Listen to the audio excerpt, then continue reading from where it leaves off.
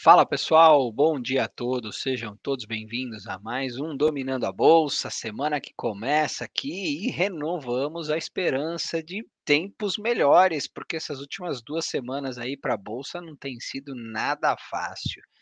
E para a gente começar a nossa segunda-feira aqui, ao meu lado, Igor, bom dia, como é que vai? Bom dia, Perina, bom dia a todos os colegas, tudo ótimo, vamos juntos para mais uma semana de mercado. Vamos lá, então. Depois de uma mais uma semana de queda aí, mercado querendo apontar para o suporte, ou seja, está mais para o suporte do que resistência. Vamos ver como é que começa essa semana. Pelo menos a semana começa bem. Vamos ver se consegue terminar bem. Então, olhando para a Ásia, a gente vê lá na Ásia um fechamento em Nikkei negativo, 0,4, Xangai positivo e Hong Kong negativo tá? Então vamos dar uma olhada aqui como é que fechou o, o como é que foi o pregão. Começando com o Nikkei, o que a gente consegue perceber aqui é que Nikkei estava um pouco fora da fora do contexto, né? Mas de qualquer forma está aqui no processo de realização ainda acima da média móvel de 21. Acho que esse é o ponto importante. Mas de qualquer forma começou a semana lá realizando.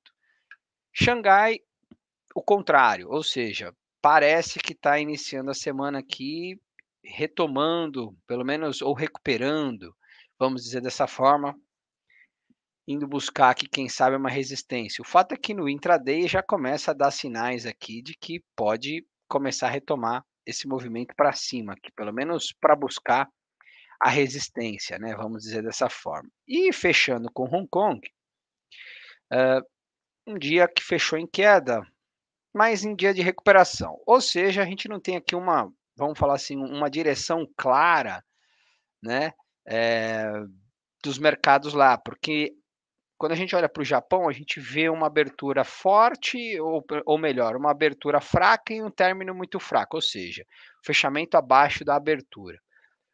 O contrário de Hong Kong e Xangai, só que Hong Kong ainda fecha no território positivo e Xangai consegue fechar em território positivo. Então não tem aqui muita coisa. Eu acho que a principal informação vai vir da Europa. Tá?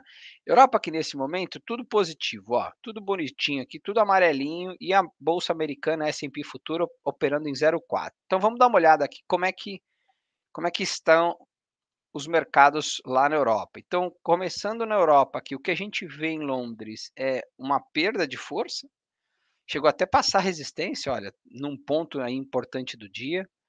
Perdeu força, isso não é legal, ainda mais porque tem uma resistência, mas de qualquer forma, tá, ainda não é um sinal de você ficar preocupado. O ponto é, você começa a semana positiva, é só ficar atento aqui com falsos rompimentos.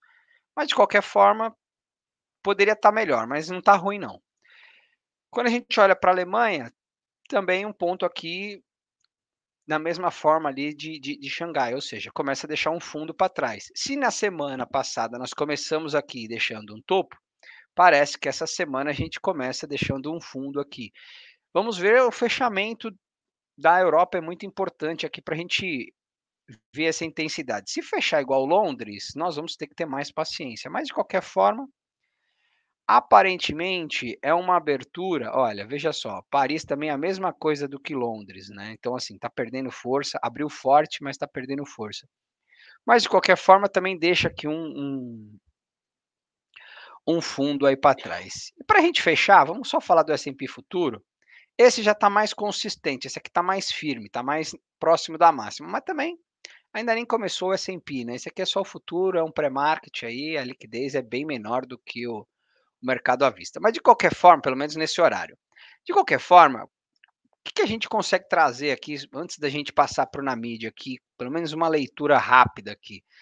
Uma leitura rápida é o mercado, pelo menos, passa a máxima de sexta-feira, em sua maioria, tá?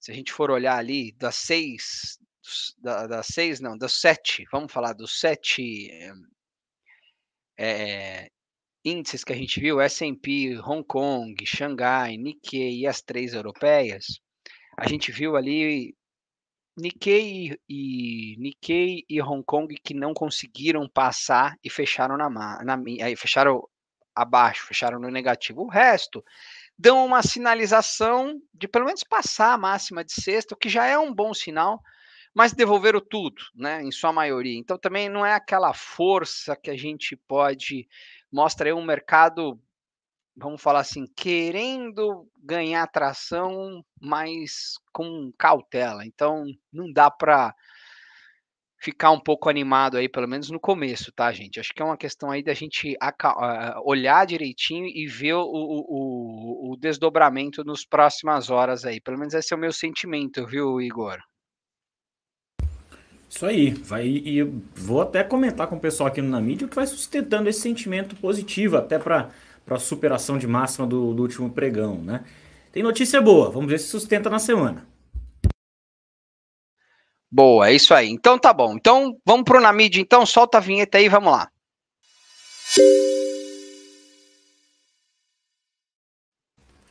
Então vamos lá, pessoal. O que vai sustentando realmente o bom humor aí nos mercados hoje? Notícias vindas da China. Tá? Nós falamos há algumas semanas atrás que o governo por lá havia uh, dado estímulos à economia, redução de taxas de juros, né? algumas medidas ali asseguradoras também, até mesmo negociações em mercado de capitais.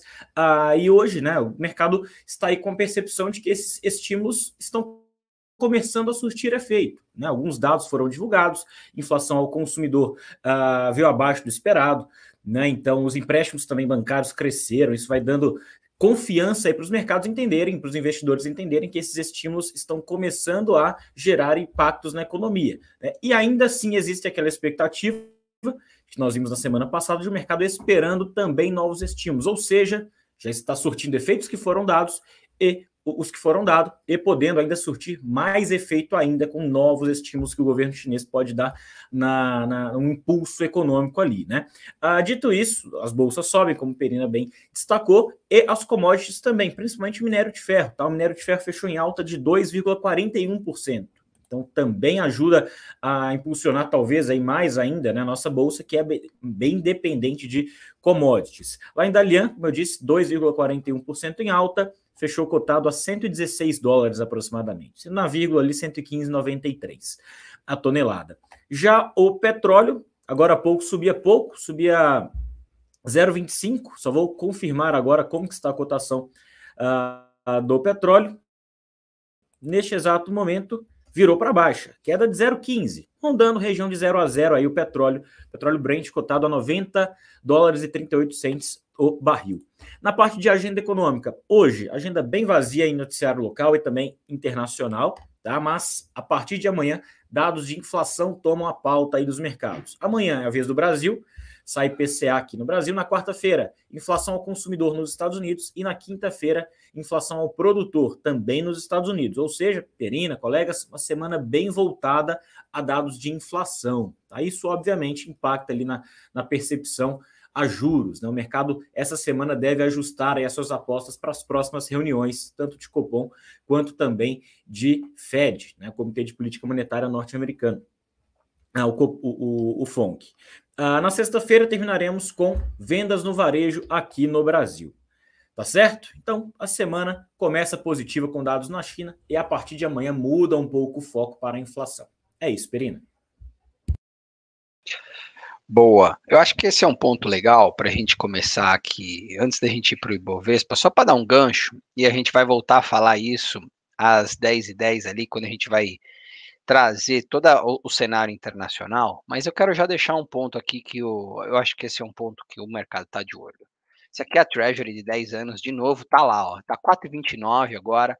Então, acho que esse é um ponto que a, o investidor vai vai ficar atento ao longo da semana. Então, dependendo dos dados que sair lá fora, né, das, dos, dos, novos dados, isso aqui pode trazer um alívio, ou seja, o que, que seria um alívio? Voltar para 4 aqui, ou apontar para 4. Agora, um nível de mais estresse é passar essa região aqui, ó, 4,35, 4,36, que foi essa massa. Então, é aqui que mora todo o perigo. E repara que o mercado está negociando ali. Né? O mercado está entendendo os riscos que estão acontecendo aqui, os desdobramentos disso tudo. E quando a gente olha para o dólar também é outro ponto, ó, da mesma forma que também está tá rondando a máxima aqui, ó. Rompeu a semana passada, hoje está dando um alívio, está querendo mostrar um topo, mas de qualquer maneira, juros lá nos Estados Unidos e o dólar frente às demais moedas estão negociando na fronteira ali para quem sabe aí trazer um certo clima de aversão a risco. Então esse é o ponto com cuidado aqui. E agora vamos falar de Bovespa. Então, antes da gente começar falando de Bovespa, pensar no pregão de hoje aqui, solta a vinheta e vamos lá. Bom, pregão de sexta-feira é, fechou em queda e fechou ali um pouco abaixo dos 115,300, ou seja, agora o suporte mesmo é os 114 mil pontos, que é isso aqui, ó, tá? Por enquanto, quando a gente olha o Ibovespa, a gente já tem destacado isso. A gente olha o Ibovespa, a gente fala, não, mas ainda está dentro desse suporte, ainda não dá para dizer que ele continua, que, que esse movimento de queda iniciado aqui, ele retomou, né? Ele deu uma pausa por aqui. Então, se perdeu 114, vai continuar e pode buscar o 111 ou 108. Tá? Acho que esse é o ponto aqui. Quando a gente olha o Ibovespa, a gente fala, não, mas ainda tem o 114 para segurar. Legal. Porém, quando a gente amplia um pouco esse olhar e a gente vê essa mínima aqui, a mínima mais recente, a gente olha para small caps, índice, índice de energia, índice de consumo, entre outros, a gente vê que não é tudo assim. Alguns deles já, vamos dizer dessa forma, é, já perderam esses, essa mínima dos 114 mil pontos. Então, isso aqui traz para a gente, pelo menos, dois pontos, tá? O primeiro é o quê? Seleção. Então, assim, vamos tomar cuidado na hora de selecionar, vamos ser mais criterioso, acho que esse é um ponto importante, né? Por quê? Porque não é tudo, né? Tem muito ativo aí mostrando já fraqueza. Então, o mercado de novo trouxe aí para gente, opa, vamos, vamos focar nos ativos com mais, pelo menos mostrando mais resistência, que mais resiliência, essa é a palavra. E o segundo ponto é o que? Vamos ficar cuidando dos stops. Por quê? Porque se o mercado né, entrar numa, num modo aí de aversão a risco lá fora, o Ibovespa vai perder, mas os outros ativos que já, os outros setores ali, os outros segmentos que já estão mostrando, de certa forma, né, uma certa fragilidade, vai ter que encerrar ali as operações, tá? Então, acho que esse é o ponto principal. O que, que a gente tem que olhar do lado da alta? Pensando em alta, tá? 116,700 é a primeira é a primeira é o primeiro movimento aqui, primeira resistência, e depois o 118,900, que foi esse topo aqui. Parece que esse intervalo entre 118 e 114 tá ficando claro aí, pelo menos para essa semana, tá? Então eu ficaria de olho aqui. Acho que pontos importantes no diário: 118,900 e os 114. Talvez um intraday aqui no 116,700, mas ainda eu acho que eu ficaria se fosse passar essas 116,700 com operações de swing trade. Ainda acho que no diário eu aguardaria um pouco mais.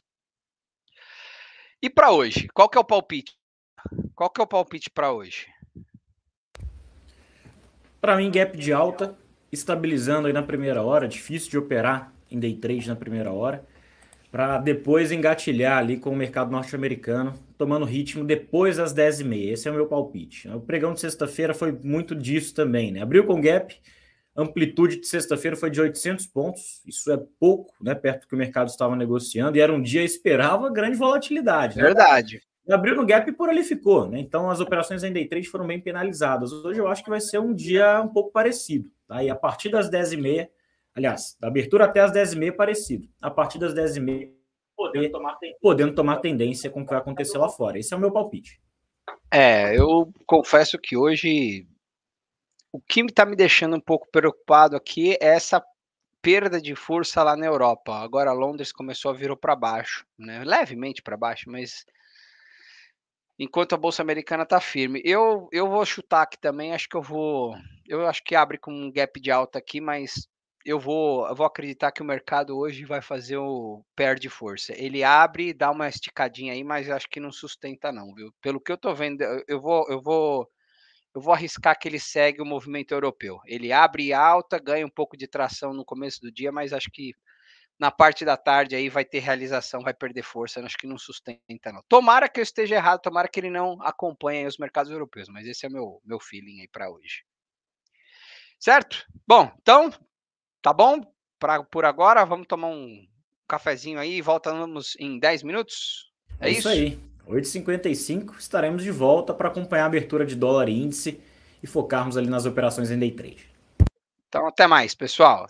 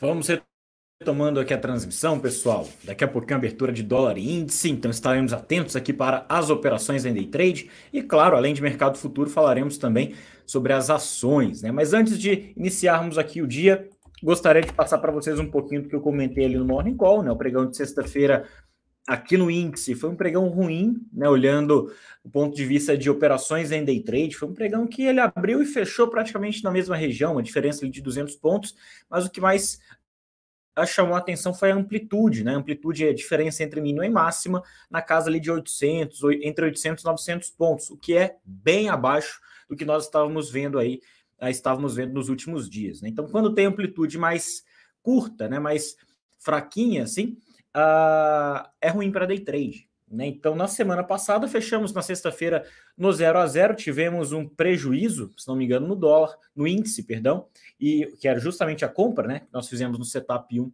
para tentar buscar fechamento de gaps, topamos essa operação, na mínima do movimento, por sinal, vale, vale destacar isso, e depois pegamos um ganho no dólar, quando ele renovou o máximo. Né? Então, fechamos o dia na sexta-feira no 0 a 0 em mercado futuro. No mercado de ações, tivemos boas operações, né? Tivemos dois ganhos uh, e uma saída próxima ao 0 a 0 que foi em Petrobras. Mas vamos ver aí o pregão atual, tá? Já passando para vocês aqui algumas perspectivas, eu só vou operar índice uh, caso ele opere fora dessa, desse intervalo aqui de sexta-feira, já vai apontando o gap de 0,80 aqui. Vamos ter cuidado, vamos ter atenção aqui, porque, igual a Perina destacou, os mercados na Europa abriram em gap de alta, começaram a ceder. Então, pode ser que se abrir aqui próximo ao 117,600, acima de 0,6% em alta, o primeiro setup em fechamento de gap será o mais adequado para as nossas operações. E o dólar, o dólar perde força hoje em contexto global, tá? Saiu notícias aí do, do Japão, o iene aí valorizando muito frente ao dólar. Isso vai pressionando DXY e acabou sendo acaba sendo um movimento uh, global também até moedas emergentes também se valorizando hoje frente ao dólar, tá? Isso vai apontando aqui já no gap. O dólar cai 0,62 frente ao real. Então vamos ver aqui. Já vai apontando também a perda de suporte, a perda da mínima de sexta-feira. Vai apontando aqui a abertura 4,97. Nós chamamos atenção pelo gráfico diário. Falei para vocês no giro do mercado na semana passada. No, no, aqui no Dominando a Bolsa, Visão Trader de sexta-feira, o dólar passando 5,05, as coisas podem entrar em um cenário um pouco mais complicado. Tá? Então, 5,05 é a resistência de gráfico diário. Nós olhamos pouco o gráfico diário, né, quando estamos falando de day trade, o foco acaba sendo aqui o gráfico de 5, mas o gráfico principal é o gráfico diário. Então, é sempre bom de tempo em tempo dar uma olhadinha ali nos pontos mais importantes, onde segurou há mais tempo, resistência, suportes mais antigos, linhas de tendência. Então, a região de 5,05 para o dólar chama bastante atenção. Caso seja superada, acredito que aí entra um cenário mais forte em compras de dólar. Ah, mas vamos olhando aqui as mensagens de vocês. Já está para abrir uh, os dois contratos, nove horas, né? Mas vamos ver aqui algumas mensagens. Uh, vou colocar todas as mensagens. A gente classificou aqui pelas principais. Xandão, like 1. Opa, o Xandão falando que hoje o primeiro like da transmissão foi dele. Show de bola. bom dia. Uh, o Claudeci, bom dia. Ótima semana a todos. Berg, bom dia. Minerva e JBS. Berg, Minerva nós estamos restritos, tá? Então, Minerva não vou poder comentar aqui para vocês mais. Mas JBS eu passo. JBS eu incluo na lista. Quando Assim que eu começar a falar das ações, eu incluo ela aqui para a gente já falar. Combinado? Uh, Eloá e o Ale aqui conosco também. O Thiago Ferreira, like 9, confirmado. Eloá já deixando like 6. Boa. Uh, Enio, bom dia a todos. Obrigado sempre. O Maurício. Igor, bom dia. Começando a semana. Show de bola, Maurício. Vamos juntos, tá? Uh, e o dólar e o índice abriram por aqui. Ponto importante: abertura dos dois contratos, no caso de dólar, no gap de baixa. A mínima é a abertura, ou seja, desde o primeiro momento aqui apenas fluxo comprador. Se fecha a primeira barra dessa formatação, respeitando a mínima ainda, respeitando o preço de abertura, é uma sinalização que podemos pensar em compra de dólar, sim. No caso de índice, ele abriu com gap de alta, a máxima do dia é a região de abertura, ou seja, do primeiro momento de negociação, a venda vai pressionando um pouco mais. Tá? Nada a se fazer por enquanto, ficar fora, vamos acompanhando o fechamento dessa primeira barra por aqui. Uh, então vou aproveitando para passar nas mensagens, tá? E daqui a pouquinho eu atualizo referências para vocês, tanto para dólar quanto para índice, e na tela superior aqui o S&P futuro, gráfico de 30, né? já vai mostrando aqui o S&P no gráfico de 30, percebam só. Fundo com fundo acima dele do anterior. Armou aqui um pivô de alta, confirmou e já vem para o seu primeiro movimento acima da média de 200, com as médias mais curtas cruzando as médias mais longas. Esse é um ponto importante que pode dar uma sinalização para a gente de retomada da alta por lá. Falta o que na minha visão? Ganhar força para passar essa região. O índice futuro aqui no ES Food, que é negociado lá fora, né? Renovando aqui os 4.483 pontos, isso pode ajudar aí nos nosso, no nosso mercado também a seguir a trajetória de alta.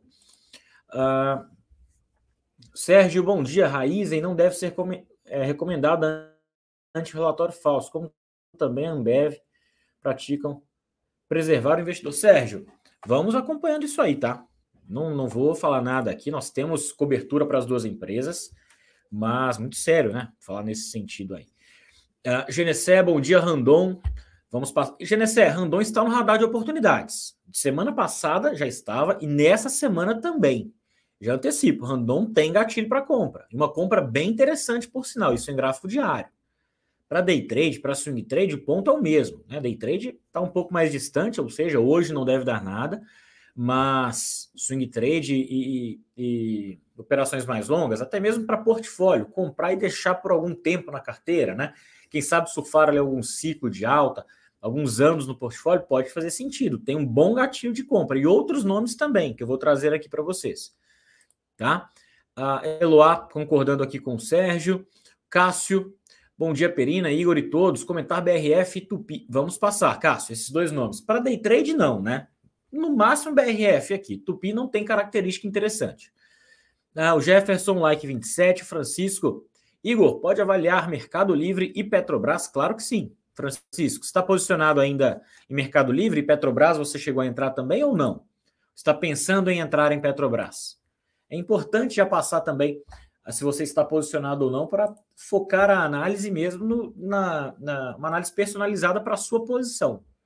Tá bom? Mas o Mercado Livre, na minha visão, dá para segurar ainda, viu? Dá para segurar. 20 segundos aí para fechamento de candle. Se o dólar fechar nessa formatação no seguinte, vier para perder o 76, eu vou ficar fora, tá? Porque eu falei para vocês, né? De que o primeiro candle vai sustentando o preço de abertura, então essa, essa é uma sinalização ainda mais compradora. Se ele perde a mínima do, do primeiro, na, na, na segunda barra, se ele vem para perder a mínima do primeiro, a chance de ser um falso rompimento, ela aumenta muito. Então, me, seria um setup que nós temos? Sim, nós temos esse setup para venda, se vier para perder a mínima, mas eu vou ficar fora. Não é todo setup que eu sou obrigado a fazer. Tem algumas informações que eu posso muito bem decidir por ficar fora, e esse aqui é um deles. Tá? Então, suporte vai ficando aqui para a mínima do 77. Resistência, fechamento de gap. Então, resistência, vamos destacando aqui região do 97. Então, ele tem todo esse espaço aqui ainda, 16 pontos aproximadamente até o fechamento de gap. E no caso de índice, vamos ver. O índice, sim. O índice vier para perder a mínima do dia, a mínima da primeira barra, aqui sim eu posso pensar na venda, tá? Por quê? Operação para fechamento de gap. Dentro do setup que temos, qual foi? O filtro inicial, gap superior a 0,60. Primeira barra, uma barra bem mais pesada. Então, se o índice vier para renovar aqui o 117.060, será a nossa operação em venda, que já está posicionada por sinal. Tá bom? Ah, Igor, o stop financeiro aqui, ele corta o candle. Não tem problema, é um setup que eu tenho, meu risco ele é financeiro mesmo. Então, 200 pontos para cima ou para baixo, no caso aqui, 80 reais por contrato. Ah, ah, desculpa, é, 20 reais, 40 reais por contrato, eu opero quatro contratos. Então, esse é o risco que eu tenho aqui na operação. Venda no 117.060 já está posicionada. Beleza? O S&P aqui nesse, nesses últimos 30 minutos ah, seguiu lateral, né, o gatilho, na minha visão, 4.483 pontos e só. Tá? Fico fora aí de qualquer outra operação, uh, por enquanto, em S&P. Passando por ali, podemos até pensar em compras no contrato futuro de, de micro S&P, o WSP, tá? Ah, muita gente já me perguntou no chat, não hoje, né, mas algum tempo atrás. Ah, Igor, dá para operar o S&P aqui no Brasil? Dá. né? Tem um micro S&P aqui, o financeiro, né? O tamanho do contrato é igual ao dólar, dá mais ou menos ali uh, ah, 50 mil reais, próximo a isso, tá? Então, quem quiser operar S&P, WSPU 23 é o contrato atual de micro S&P. Beleza? Então, na minha visão, se lá fora renovar essa máxima aqui, superar essa lateralização, abre margem para a gente poder comprar aqui também. Combinado? Única ordem que temos engatilhada aqui por enquanto, venda no 117.060 para índice.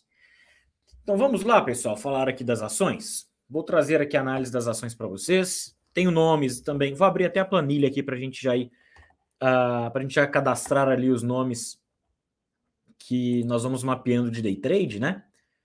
Então, só um instantinho que eu já vou abrir a planilha e deixo ela aqui de canto na tela e vou mostrando para vocês de tempos em tempos, tá? Pessoal, a planilha está ajudando vocês? Vocês estão conseguindo mapear as operações, anotar. Né? Na semana passada nós tivemos Petrobras, a gente tivemos Petrobras na compra, foi a única que acionou. Essa aqui são as, as operações de semana passada. Né? Nós deixamos posicionado Soma e Petro, Petro acionou, saímos próximo ao 0 a 0 não andou, ficou a pouco, pouco espaço do objetivo ali. Uh, Natura, saímos no objetivo. Magazine Luiza também, a Magazine Luiza também deu. E Blau 3, uh, ah, se não me engano, fomos estopados. Né? Se não me engano, fomos estopados ou não acionou. Era 1707 o gatilho. Opa, pensei em Blau 3 e digitei Magalu. É, não acionou. É o nosso. Não era 1707. E segue o mesmo ponto, tá? 1707 é um bom ponto para a gente pensar em venda em Blau. O que, que é o 1707? Mínimo histórico.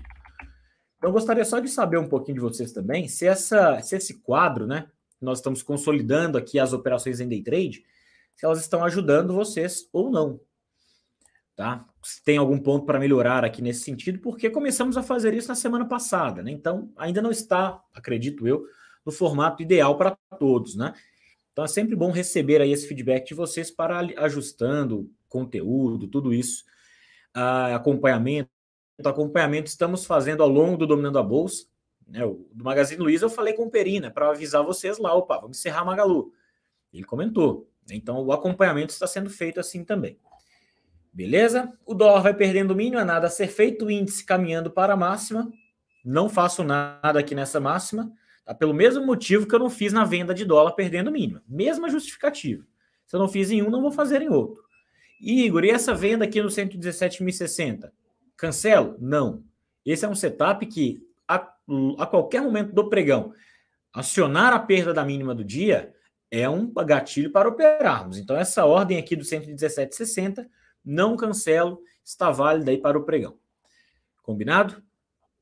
Então vou limpando aqui a planilha, deixando ela vazia para preencher aqui com as operações que nós vamos mapeando para hoje.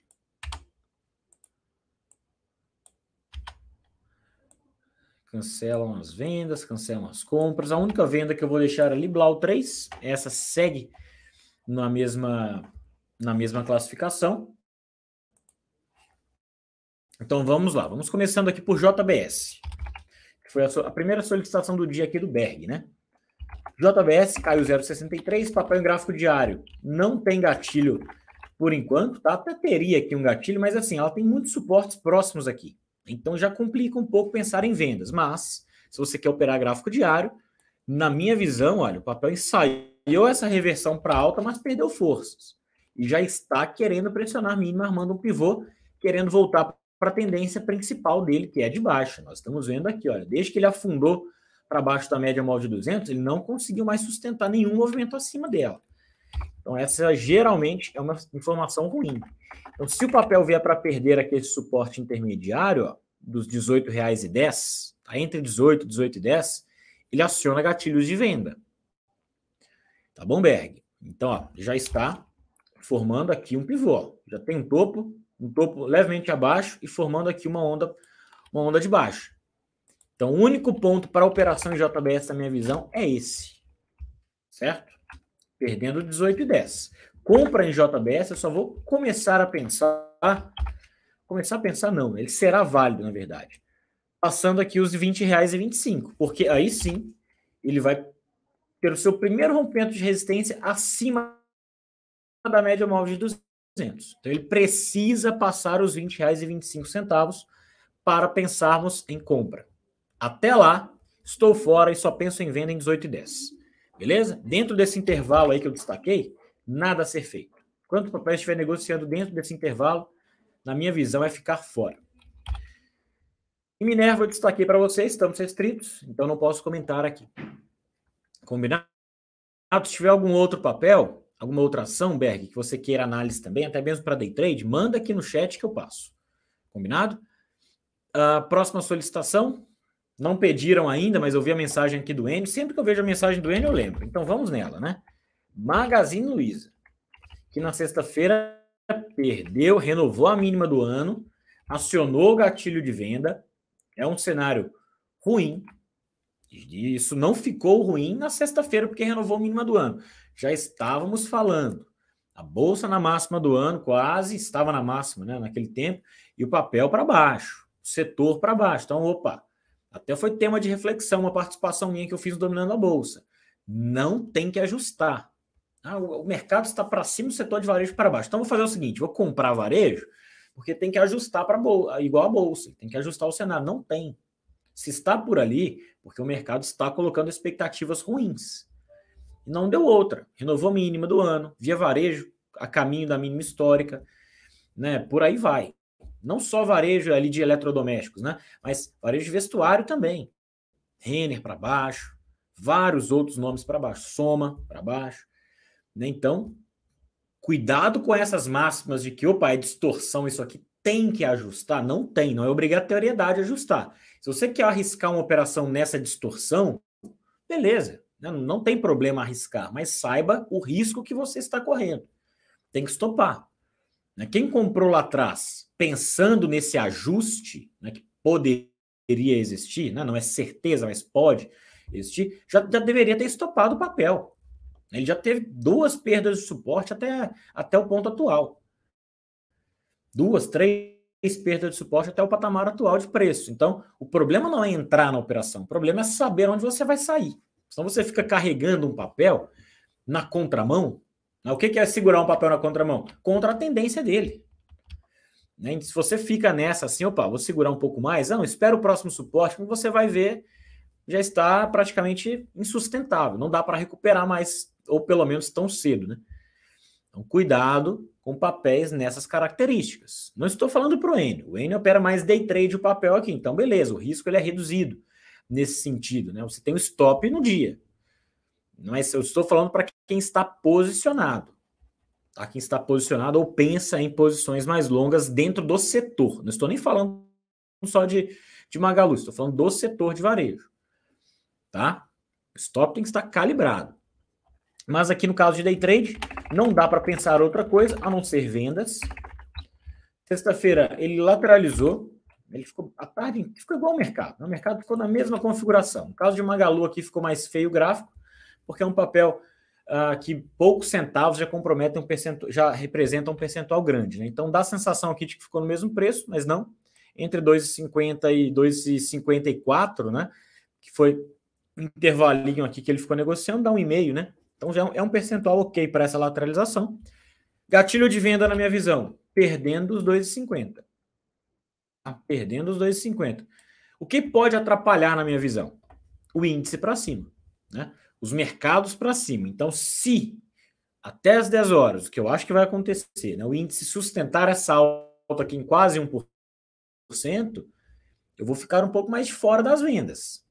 Tá? É uma possível venda em 2,50? É, uma possível, mas eu não vou posicionar a ordem de largada igual eu faço com vocês em alguns momentos. Né? Tem papel que a gente vai ali, crava a ordem, já deixo ela para abertura mesmo. Se no leilão pegar, beleza, tô dentro. Esse aqui não é o caso. Tá? Esse é o caso para que, se o mercado perde forças, vem para renovar mínima, perde o 117,60, aqui é um gatilho bom para vender, dentro desse contexto que eu falei. Tá bom? O que nós estamos vendo aqui no índice, acabando de renovar a máxima, seguindo o gap de alta, é para buscar compras.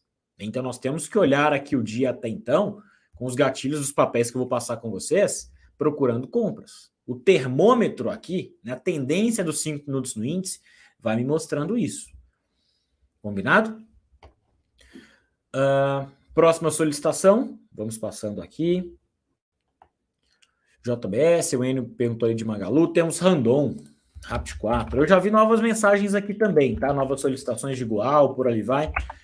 Daqui a pouquinho eu incluo na lista para a gente falar. Randon. Exatamente esse ponto aqui, é dos 13 reais. Passando 13 reais, quem perguntou foi o Genessé. Esse é o único gatilho possível para operar o papel. Tá? Para compra, no caso, né? Para venda, se vier para perder o suporte dos 11,40, dá até para pensar, mas a distância que até a média de 200 vai dizer muita coisa, tá? Nesse momento, ainda 7% daria para pensar, mas a cada fechamento que nós temos, a média vai aproximando. Então, se coincidir de perder essa mínima dos 11,40 com a média ali uma distância de 2, 3%, fora. Certo? Então, para venda no papel, ainda tem algumas alguns filtros para a gente olhar. A compra nos 13 reais, ela é fixa. É um papel que está em tendência de alta, uma tendência muito forte, muito forte, porque como que sabemos disso? Quem está balizando ela, né, os pontos de parada das baixas dentro dessa tendência, está sendo na média de 9,21. Então isso é uma tendência forte. Então, sabendo disso, qual é o próximo rompimento? 13 reais. Então já tenho até esse alarme aqui, vou deixar esse alarme posicionado Genessé, demais colegas, na minha visão, é um bom nome, sim, para pensar em compras ali. Tá? Um bom nome, papel bem resiliente, não está participando dessa queda na bolsa. A bolsa rondando ali a região de suporte, vários índices setoriais também perdendo ou já perderam suporte. Esse aqui segue firme, segue a toada dele, né? segue a tendência de alta. Então, na minha visão, Genessé, só tem este gatilho tá para compra. Outros intermediários, gráfico de 30, nada a ser feito. Tem que esperar 13 reais e só. Tá bom? Cássio perguntando de BRF e Tupi 3. Vamos ver, BRFS3, caiu 2%. Chegou a perder suporte intermediário, não é o principal. O principal fica aqui embaixo em 8,15. Tá?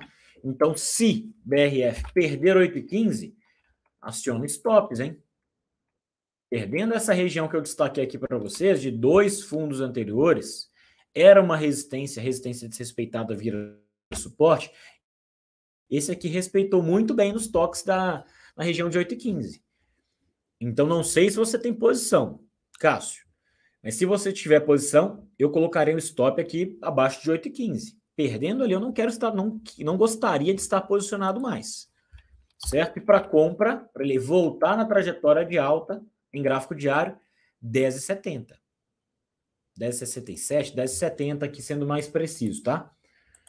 Esse é o único ponto também para compra. Isso em gráfico diário. Gráfico de 30, tô fora, tá? Gráfico de 30, não faço nada aqui nesse papel também não. Ele não é bom para day trade na maior parte das vezes.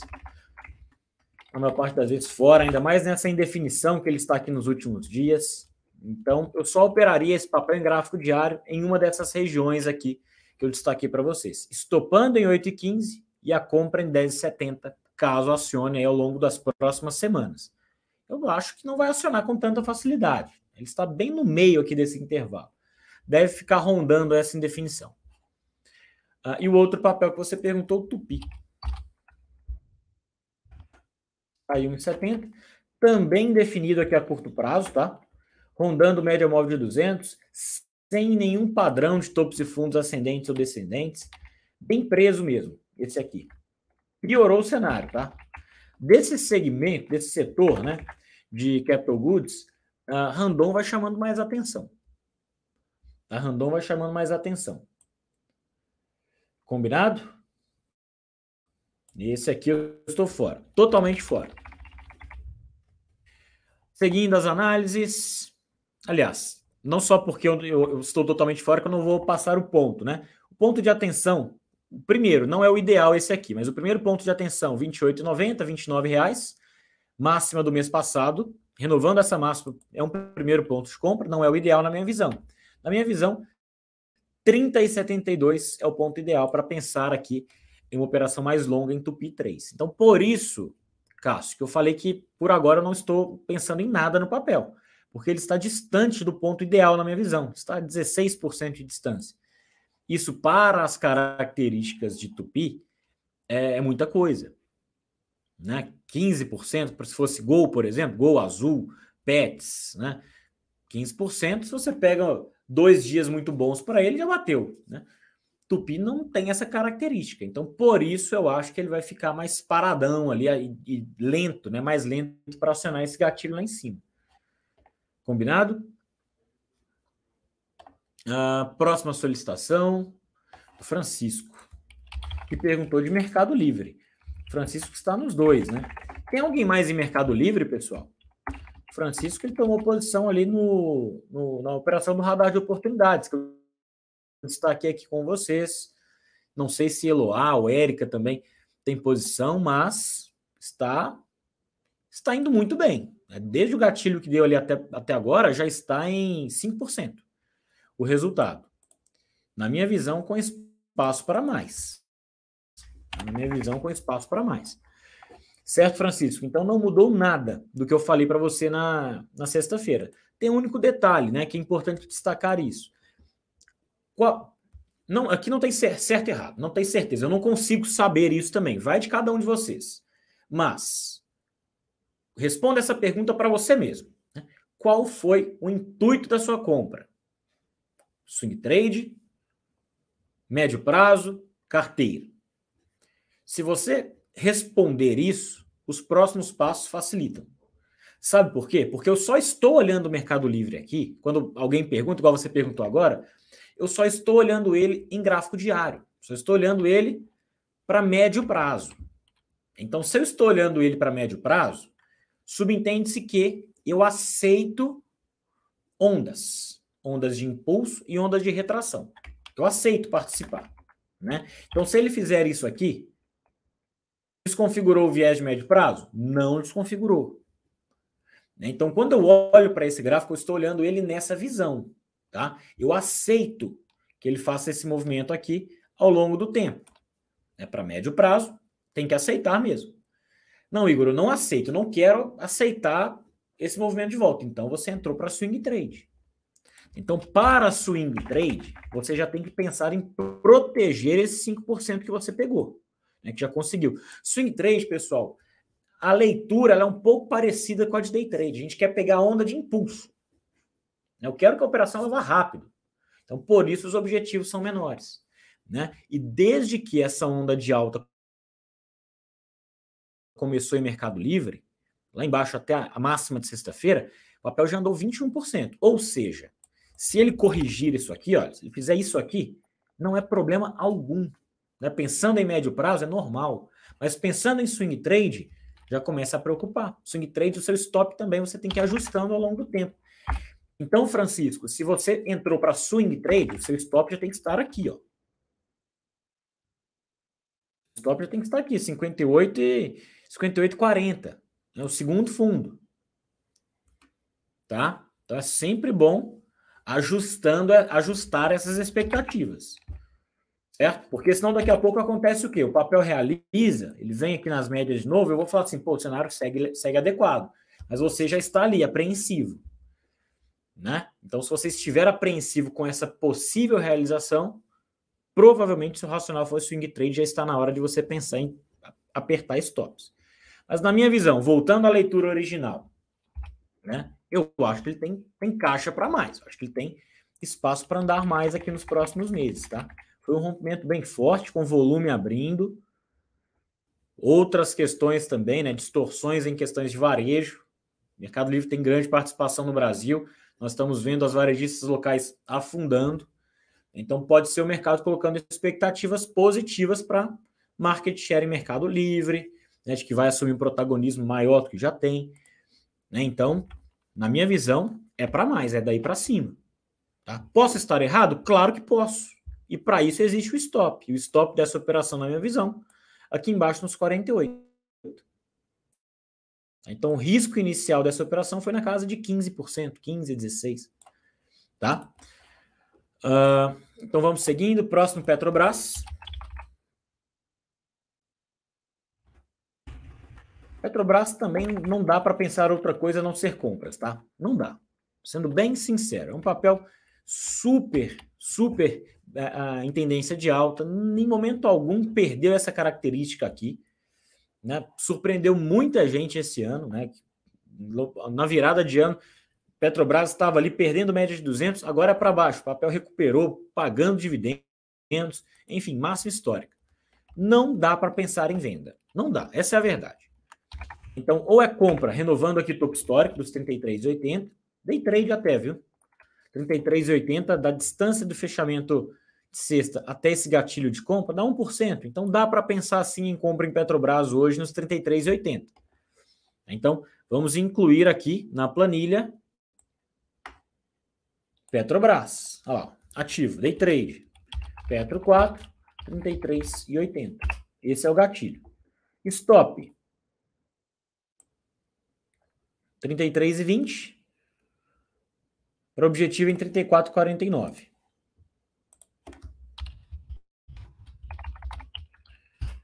Certo? 33,19, né? Colocar um centavo abaixo ali do, do preço redondo. Então, beleza. Essa, essa é a primeira operação que nós temos aqui engatilhada. Passando dos 33,80. Primeira Petrobras. A Érica já vi aqui a mensagem dela, já falou alguma oportunidade para day trade? Érica, sim. Essas duas aqui. Compra Petro, venda Blau 3. E tem aqui também uma possível venda em Magalu, tá? Que eu falei, mas essa aqui com asterisco. Ó. Por quê? Porque ela não vai ser posicionada. Ah, aliás, o asterisco eu vou deixar para facilitar, né? As ordens que eu já vou deixar gatilho. Se eu vou pendurar a ordem, eu já vou deixar com o asterisco. Então, Petrobras, ó, com asterisco, essa aqui eu já vou deixar a ordem posicionada no leilão mesmo. Às 9h45, permitindo ordens, eu já penduro essa ordem compra em Petrobras, renovando o topo histórico. Beleza? Magalu, ponto de venda seria em 3,50. Stop 3,55. Certo? Renovando a mínima. E essa aqui, por que, que eu não vou pendurar essas ordens de venda de, de largada, né? Por conta do termômetro do índice.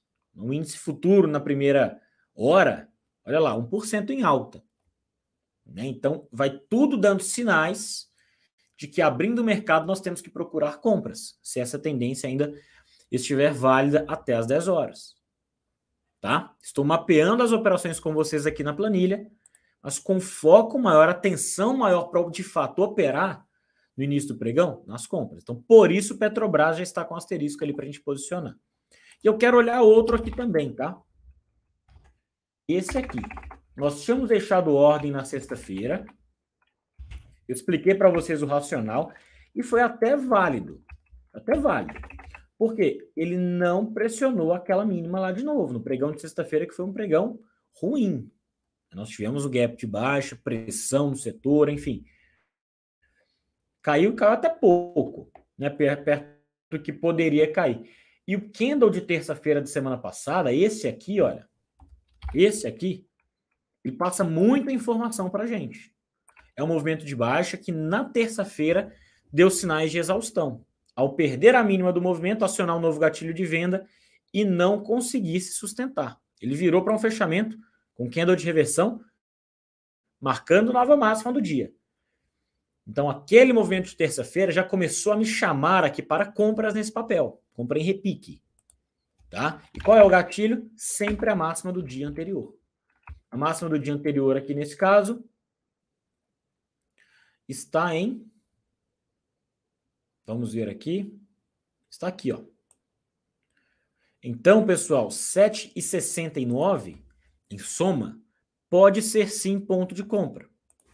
Então já estou posicionando aqui, ó. Soma 3. Essa ordem também já vou deixar posicionada.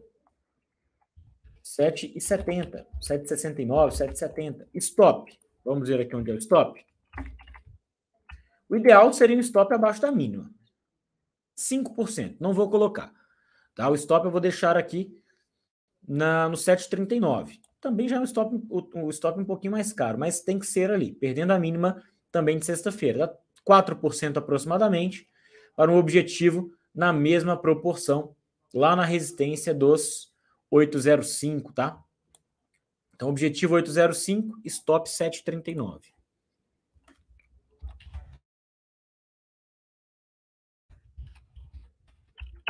Beleza? Então já pegamos aqui, ó, percebam só, essa possível entrada em day trade em grupo soma, a leitura dela começou pelo gráfico diário. Ao pegar ali uma, uma informação de, de exaustão do movimento de baixo. Combinado? Então já temos essas operações aqui mapeadas por enquanto. Petro e Soma na compra, Blau e Magalu na venda. Ah, então vamos seguindo. Próximas solicitações aqui. Uh, Gual e.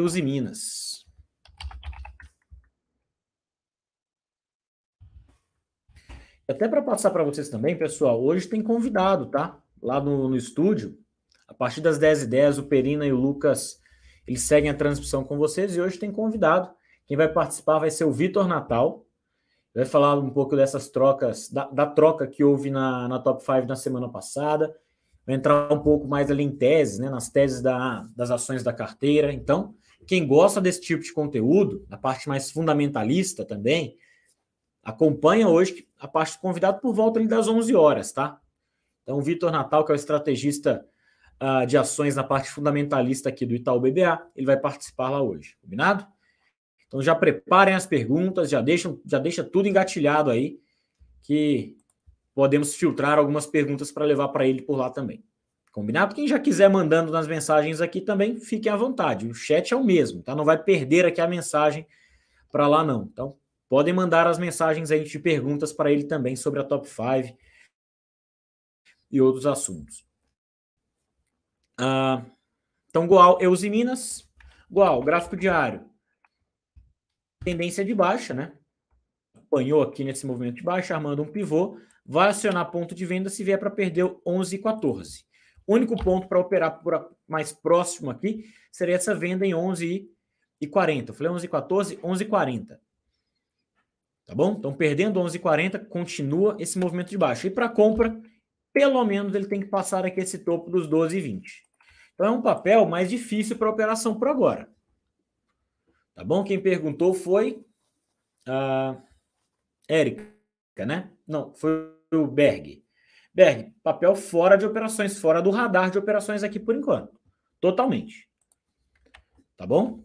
Mas, de qualquer forma, deixa o alarme nesses dois, nesses dois pontos aqui, para caso acione, você pode avaliar operações. Na minha visão, não faria nada. Sendo bem sincero. Gatilho tem, mas não é obrigado. Você não é obrigado a entrar em todo papel que tem gatilho. Esse, na minha visão, é um típico caso disso. Tem gatilho, mas deixe passar. Tá? Deixe passar. E o outro, use Minas. Vamos ver se use Minas está um pouquinho melhor o cenário. Mesma coisa. Mesma coisa. Ah, e ainda pior, na verdade, podemos dizer, né? Porque a Goal, Gerdau, né? Goal, GGBR, mesma coisa. As duas, a mesma coisa em, em, cenário técnico, praticamente, as duas chegaram a passar a média de 200. Os Minas não. Né? Então, os Minas eu não tenho gatilho para compra. Gual tem gatilho para compra. Os Minas é só gatilho em venda, perdendo 6,80. Então, deixa esse alarme aqui também, 6,80, 6,75. Pois perdendo esse patamar, o papel volta para um viés mais. Já está em um viés negativo, mas ele volta viés negativo para curto prazo. Então, 6,80, 6,75 é o ponto para operar os Minas em venda e só. Combinado? Azul. A Erika perguntando aqui sobre azul. Caiu 1%. Esse papel, veja só, esse papel, Érica, ele pode dar compra hoje. Eu nem olhei o gráfico de 30. Só pelo gráfico diário eu já tenho essa informação. Por que isso? Movimento de baixa. Ele está em tendência de baixa. Topo de fundos descendentes. Porém, do último impulso que ele teve em baixa, que ele perdeu essa mínima aqui até o candle de sexta-feira, ele caiu 10% em nove dias. É normal para ele. Azul tem essa característica. Não é isso que me chama a atenção. Que me chama a atenção para compra é a formação do candle de sexta-feira. Ele abriu com gap de baixa, né? já em um movimento de baixa. Então, a chance quando tem gaps de baixa, depois de um longo movimento já, é que esse gap ele mostra exaustão. Tem chance disso acontecer. E como que eu tenho essa informação? Pela formação do candle. A formação do candle foi um candle bom. Esse é um candle comprador. Aí ele mostra que, opa, marquei mínima ao longo do pregão. A venda perde força, ele vem para fechar em máxima. Tá? Praticamente em máxima. Então esse aqui é um martelo. Qual é o gatilho para operar esse setup, para é operar esse candle? Se você vê um candle desse em um movimento de baixa esticado, esse é um candle que te chama para compras no, no pregão seguinte. Tá? Então ele tem que passar a máxima. Passando a máxima de sexta-feira é gatilho de compra. Então já está aqui, ó. 13,71, 13,70 por ali. Então esse também é um nome. Antes disso, pessoal, atenção aqui para o dólar, tá? Vamos de venda em dólar. Ele acaba de perder mínima do, do dia. Então, vendidos aqui, stop no 71,5. Já é tendência de baixa, lateralizou, perdeu mínima, então abro venda, stop 71,5, objetivo 55,5. Então, azul, com asterisco aqui também. Esse, na primeira, no primeiro momento do dia que eu já quero posicionar essa, essa operação. Compra 13,70. Stop mínima de sexta-feira. O stop técnico para operar esse tipo de candle é sempre a mínima do candle, ou a máxima, se for um candle para você pegar venda. Então vai ser um stop nos 13,38, 2,5 de stop. Para um objetivo, o objetivo aqui, pessoal, esse quando nós pegamos operações em direção às médias, repique ou realização, eu já expliquei isso, mas é sempre bom reforçar. Esse é um tipo de setup que ele permite você ajustar a operação ou conduzir ela de forma diferente. Tá? Então, obviamente, terá um objetivo inicial. Mas esse é um setup que, caso o investidor queira levar parte da posição para o próximo dia, não vejo problema. Tá? Porque ele está esticado com espaço até as médias. Então, em gráfico diário, até a média de 9, ele tem 6%. Até a média de 21, ele tem 11, 12. Né? A média de 21 seria a, a, o repique completo aqui. Então vamos supor, né? o objetivo inicial vai ser de 2,5 também. Eu sempre parto aqui da relação risco-retorno de 1 para 1. Então vamos 14,07, 14,07, 14,08. Então já vou colocando aqui o objetivo, 14,08. Né? Vamos imaginar o seguinte aqui, Érica. Você comprou o papel, está evoluindo super bem, está lá quase batendo o objetivo 1408 que, que você pode fazer? Entrou, vamos supor, com 5 mil ações, encerra metade no objetivo de day trade, encerra metade nos 1408, a outra metade puxa o seu stop para o 0 a 0 e segura para mais dias. Tá? Então, essa é, é uma operação, esse é um setup que permite isso. Então, fica a seu critério. Se você preferir encerrar tudo em day trade, beleza. Se não, se quiser pagar para ver o movimento de, de repique nos próximos dias, pode fazer sentido também. Mas esse é um papel que já está aqui, ó. Eu já tenho três ordens de compra para posicionar aqui daqui a pouquinho com vocês, entre 9h50 e 10 horas. Combinado? Gostei dessa operação em azul, por sinal. Uh, o Enio falando que 2,50 em Magalu é um suporte forte, sim. Exato. Eu encerrei a operação na sexta-feira uh, justamente por isso. Tinham mais de. É, é, tem sempre, né? O book de ofertas ele tem sempre as ordens ali e eu sempre filtro para ver a quantidade de ordens por preço. Eu não deixo aquele book aberto, não, deixo ele consolidado para mostrar o peso, né? De ordens, a concentração no book. É, o, 3, o 2,50 era. É 2,50 ou 3,50? 2,50. Tem que ajustar aqui, ó. Eu coloquei 3, é isso aí. 2,50, 2,55, 2,44. Uh, tinha mais de 3 mil, tinham mais de 3 milhões de ações ali penduradas, né, no, no, nos 2,50. E os outros ali com 500 mil ações, por aí vai. Então a concentração de compra nos 2,50, ela estava muito acima do que nos outros pontos. Então isso também já, sem olhar gráfico, olhando apenas o book de ofertas, isso acaba sendo mais tape reading, né? Que você olha, não olha gráfico, olha movimentação, concentração de players, né? comportamento de players. Isso em dólar também dá para ser feito, ações também dá para ser feito. Né? Isso olhando apenas o livro de ofertas, você já conseguiria tirar essa, essa informação também. Tá? E, o importante aqui, Enio, não é apenas a concentração de ordens. Você tem que ver. Né? Porque se você olha um preço muito distante, vamos supor, 20 centavos, 10 centavos do preço atual, você pode perceber que tem muita concentração de ordem lá. Né? Mas muitas daquelas ordens, ao serem testadas, o investidor ele pode ir lá cancelar a ordem. Então, o simples fato de ter muita ordem ali, sozinho, não diz nada. Você tem que ver se essa ordem é firme. A gente fala, né? É firme ou não é? Né? O que é uma ordem firme? O mercado chega ali para testa aquela ordem e ela segue lá. Opa, é uma ordem firme, tá ali tá ali mesmo. Certo? Não vai ser cancelada, tá ali para ser executada. Então, essa informação é importante. Tem concentração, preço chegou, continua a ordem ali, beleza, suporte. Tá? Preço chegou, cancelou, furou, vai, furar aquela ordem com, com mais facilidade. Tá? Então, tem, tem essa leitura aqui para ser feita também, mas eu concordo com você. E foi exatamente o motivo de ter encerrado a operação antes do objetivo final, porque não perdeu os 2,50. Combinado? E o dólar, pessoal, querendo pegar aqui o nosso stop, perdeu o suporte, perdeu o mínimo do dia, dentro já da nova tendência de baixa. Agora sim temos uma tendência, naquele momento não existia, né? Agora temos onda 1, onda 2, onda 3. Fui pegar aqui o movimento, peguei o movimento da onda 3, stop 71,5, objetivo lá embaixo no 55,5.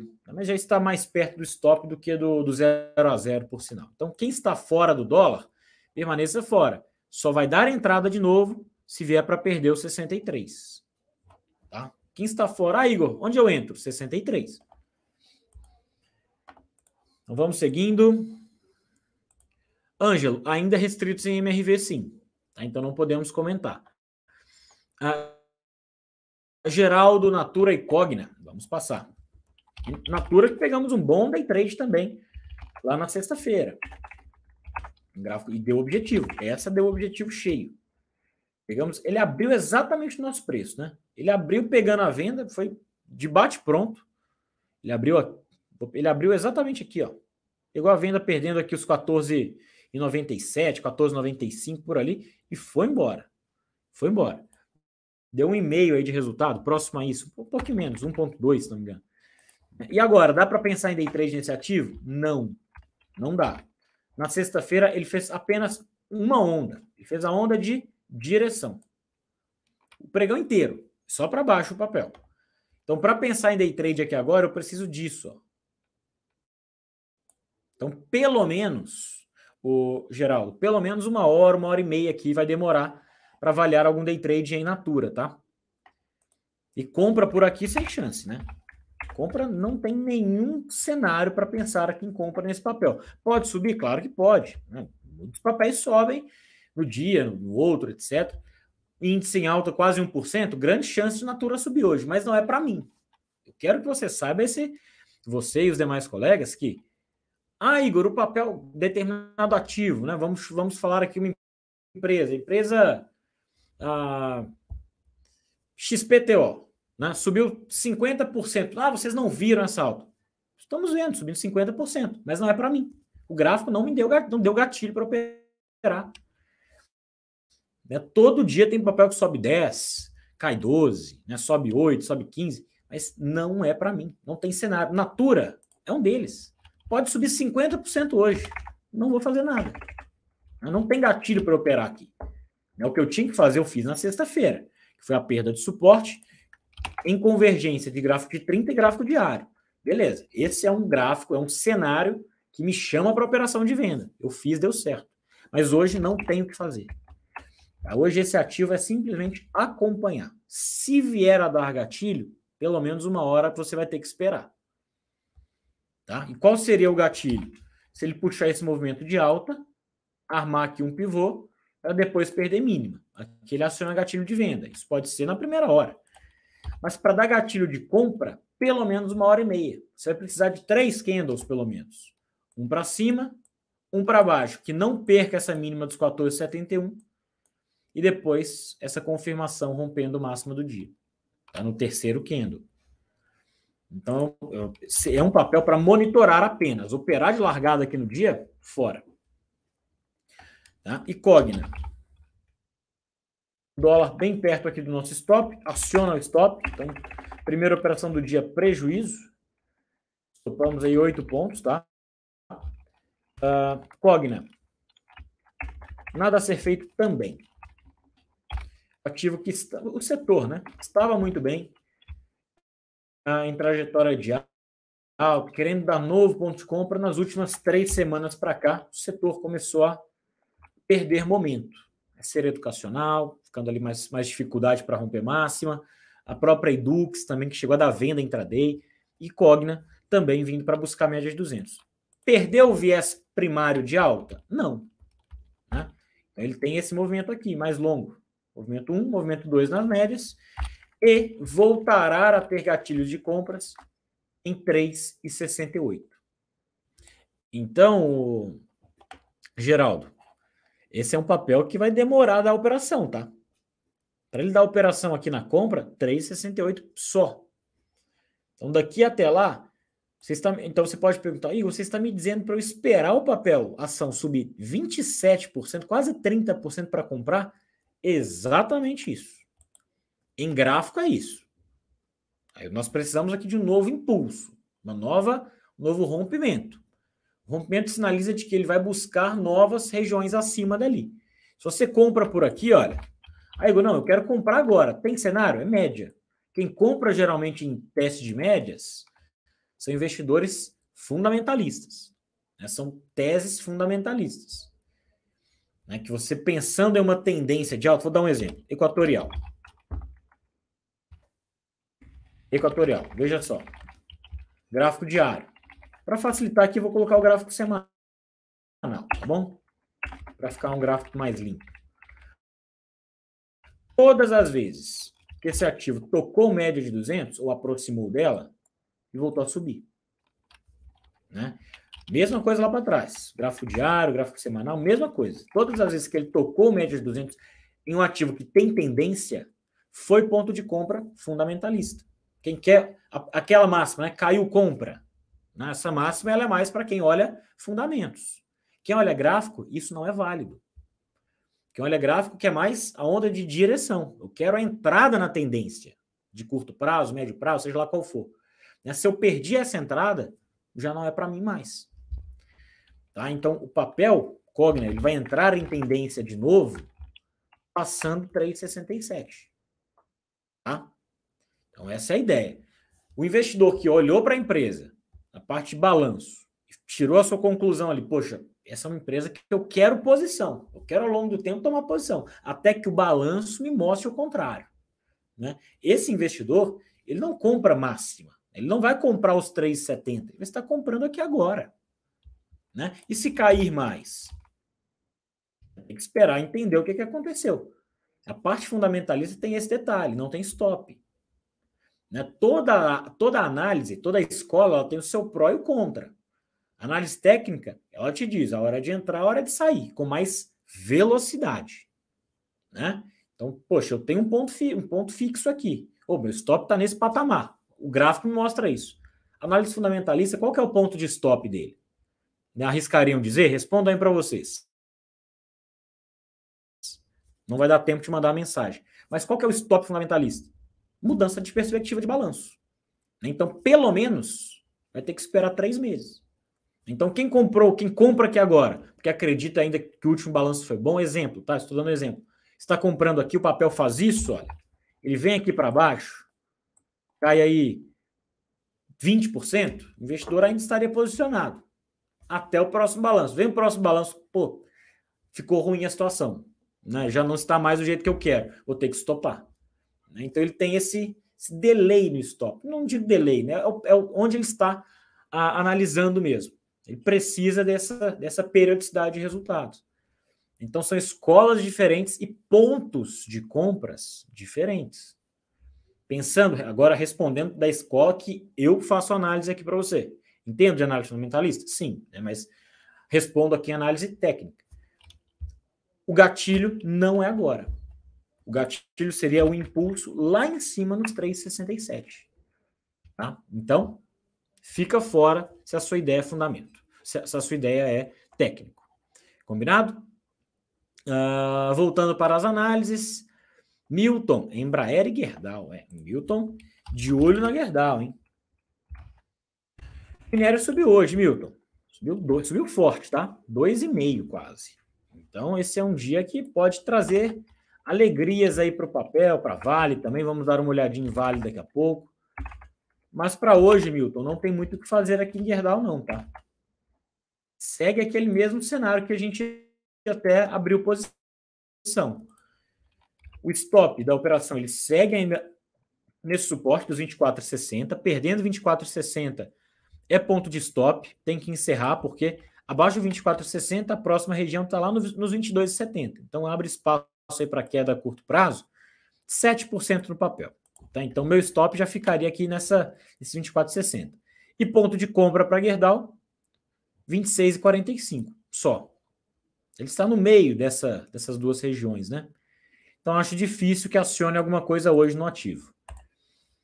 E Embraer, outro ativo que você perguntou. Embraer caiu forte, né? Caiu 5% na sexta-feira e volta para uma região de indefinição. Ele estava, ele deu né, gatilho de compra aqui, na verdade, não acionou stop ainda. O stop dessa operação uh, tem alguns stops. Né? Eu colocaria no primeiro fundo abaixo aqui da média de 200. Então, quem está posicionado em Embraer? Meu ponto de stop seria aqui nos 17,11, tá? Abaixo desse fundo do dia 7 de agosto, mínima do mês passado. Então, stop seria na mínima do mês passado. Combinado? Mas para hoje também nada a ser feito. Gráfico de 30, mesma coisa. Por fora. Mesma justificativa que eu falei de ficar fora em natura para day trade. Por quê? O último pregão, apenas uma onda. Ele deu apenas a onda de direção, de baixa. Para pensar em operação aqui, pelo menos uma hora, uma hora e meia. Ou para baixo, fazendo esse movimento seguinte, ou para alta, fazendo três candles com essa configuração. Certo? Então, Embraer e Gerdau para hoje, não vejo nada a se fazer. Uh, dá uma olhadinha em Vale. Vale no leilão subindo 2,5. Isso pode ajustar, né, mas é por aí mesmo, né? O, o minério de ferro subiu bem. Uh, o ativo segurou nesse suporte intermediário aqui do fechamento de gap. Esse gap aqui, rapidamente, ele já veio para fechar brevemente já vai apontando para cima. Nada a ser feito aqui por enquanto Vale também. Né? O papel, eu, eu estou mais atento nele, aí até para uma posição mais longa, tá? Passando de 70 e 70, 70 e 80, máxima aqui do mês de julho. Passando essa resistência de julho, o ativo entra em trajetória de alta e médio prazo. Uh, Érica, perguntando de day trade em Tenda e Ezetec. Tenda nós estamos restritos. Então, Ezetec, vamos ver. Tenda não podemos dizer. Parecido ao que vimos em azul, tá bom, Érica? Então, não sei se você perguntou por isso, mas é um cenário um pouco parecido. Baixa mais esticada. A diferença é que, no caso de Ezetec, essa baixa que nós vimos aqui foi uma baixa em realização. A tendência ainda é de alta para o ativo. O viés de alta. Azul não. Azul já está em trajetória de baixa. Então, no caso de a compra em azul, seria para repique. Uma compra em Ezetec Seria para retomada em alta. E é o mesmo gatilho. Máxima de sexta-feira. Dá para pensar sim. Passando aqui os 20,95, tá? Então, mais um aqui para a lista. Exetec. 20,95. Ele está apontando a abertura aqui em 20,97, perto, né? Se abrir por aqui até os 21 reais, dá para poder pegar. Então, vou colocar aqui, gatilho 21. Stop abaixo da mínima, nos 20,57, 20,56. Perdendo a mínima de sexta-feira, isso aqui dá mais ou menos 2%. Objetivo na mesma intensidade nos 21,39. Beleza? Então, pessoal, vou dar uma pausa aqui nas análises com vocês e vamos focar aqui agora no, no teórico dos ativos. No, no, teórico já estão, os ativos já estão em leilão. Então, vou abrindo aqui essa outra tela com vocês, né? Ah, eu não passei por pets, pessoal, pois estamos restritos, tá? Não esqueci dele, não. eu passei por Magalu. Então, do setor que nós estávamos acostumados a ver ali, dos três, né? Via Varejo, Pets e Magalu, só Magazine Luiza que podemos. Os outros dois, Pets e, e Via Varejo, estamos restritos. Então vamos aqui nos nomes que nós falamos. Primeiro, Petrobras. Vamos pendurar essa ordem aqui em Petrobras já. Só um instantinho.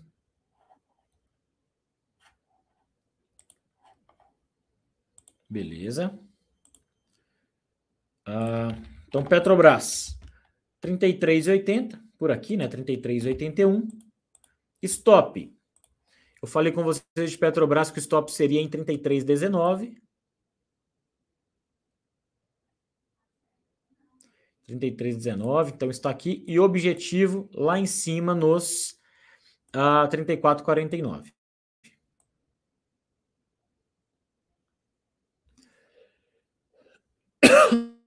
Até um pouco antes. 34,43. Está feito. Grupo Soma. Soma, temos o day trade aqui na máxima de sexta-feira, que está em 7,70. Então, soma, compra em 7,70. De todas as operações que falamos, esse aqui é o que tem o stop mais caro, tá? Então, atenção, stop é 7,39, dá mais ou menos 4% stop. Para um objetivo em 8,05. 8,04, 8,05. 4% de risco para 4% de objetivo, azul.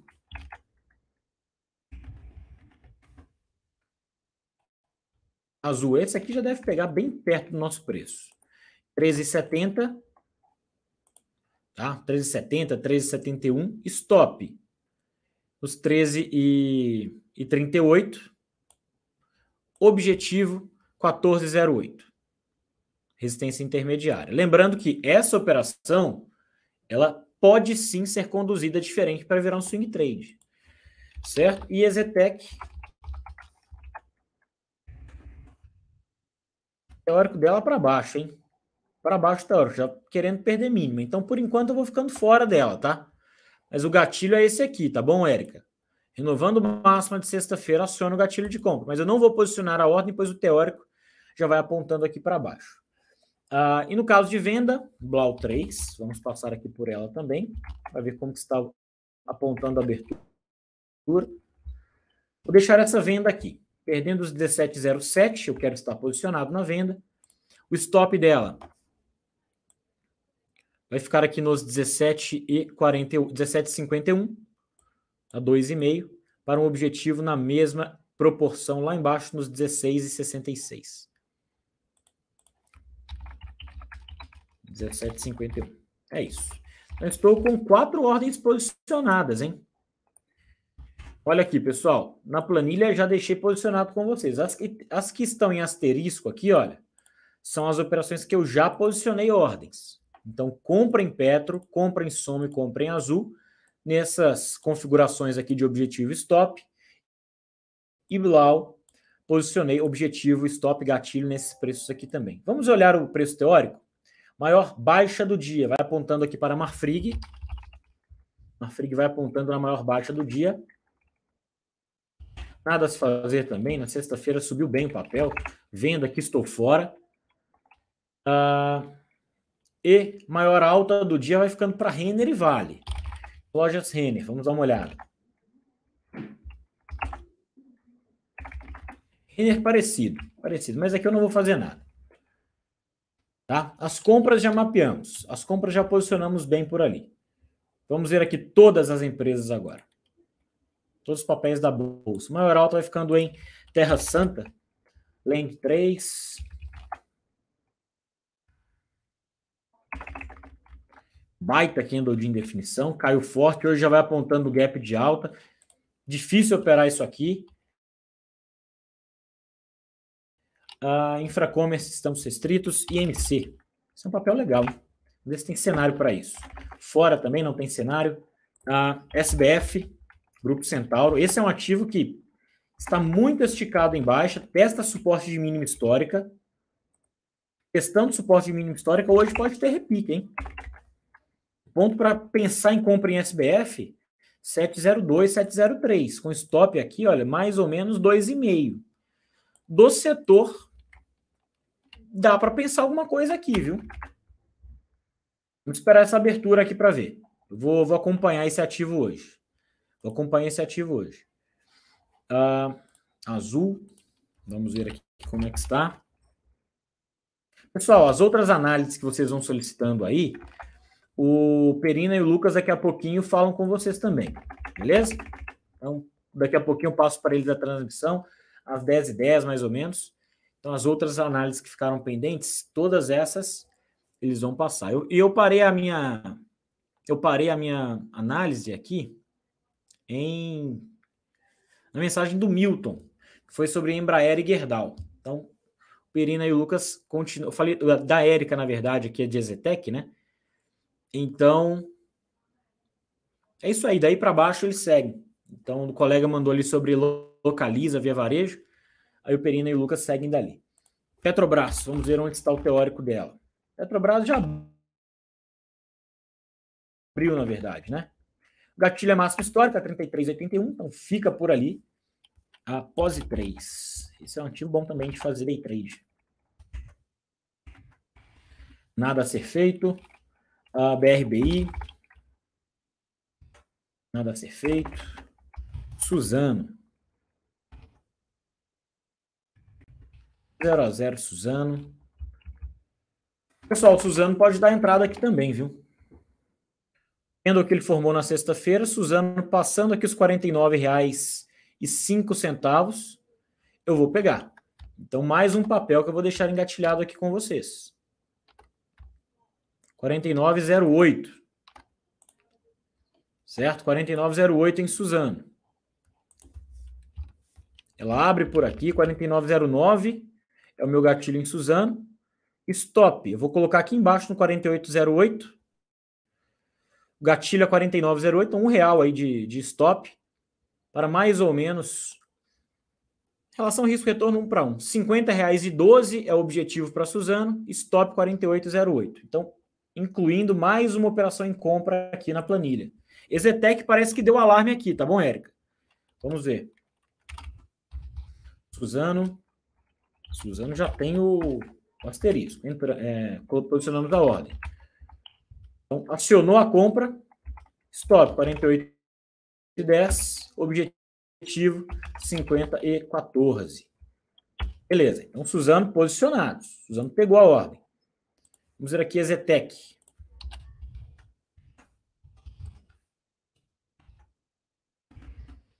Érica, Ezetec deu a compra aqui, hein? Acionou acionando a compra neste exato momento Exetec.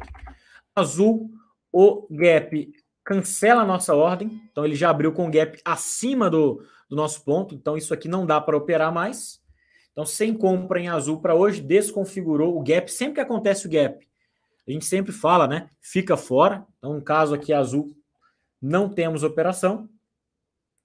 Então, cancelo aqui azul do, do dia. Apenas mapeamos. Exetec. O Zetec já fugiu, né? Já subiu aqui do ponto que eu queria pegar até o preço atual, já 1% de alta. Né? Não tinha ordem posicionada pelo teórico, mas está indo embora. A compra que eu tenho posicionada agora, apenas Suzano. A única ordem que acionou. A única ordem que acionou Suzano. Beleza? Soma. Tem um soma também para avaliar. O grupo Soma, ainda em leilão, mas o meu ponto de compra em soma está em 7,70, beleza? Então, serão essas as operações de hoje. Blau na venda que nós temos. Também já sobe 2%, acho difícil acionar. Então, nosso ponto de atenção aqui, pessoal, vai ficar em Soma, Petrobras e Suzano, que já está em curso, né? Quem pegou a Zetec, não sei se a Érica conseguiu pegar a tempo, mas vamos ver se Cirela pode, pode ser algo também aqui. A Cirela não acionou, não acionou. Era a Exetec mesmo. Ah, gol. Olhei azul, mas não olhei gol. Em leilão também, nada a ser feito. É isso, pessoal. Muito, muito difícil mudar o cenário nesse sentido aqui. De papéis de Bovespa, Muitos ainda em, em leilão. Muitos ainda em leilão. Uh, a Pivida, esse é um papel, um ativo que eu gosto de olhar também. Já ia passando despercebido. Mas hoje não tem gatilho. Teria gatilho só para venda, né? Só teria gatilho de venda.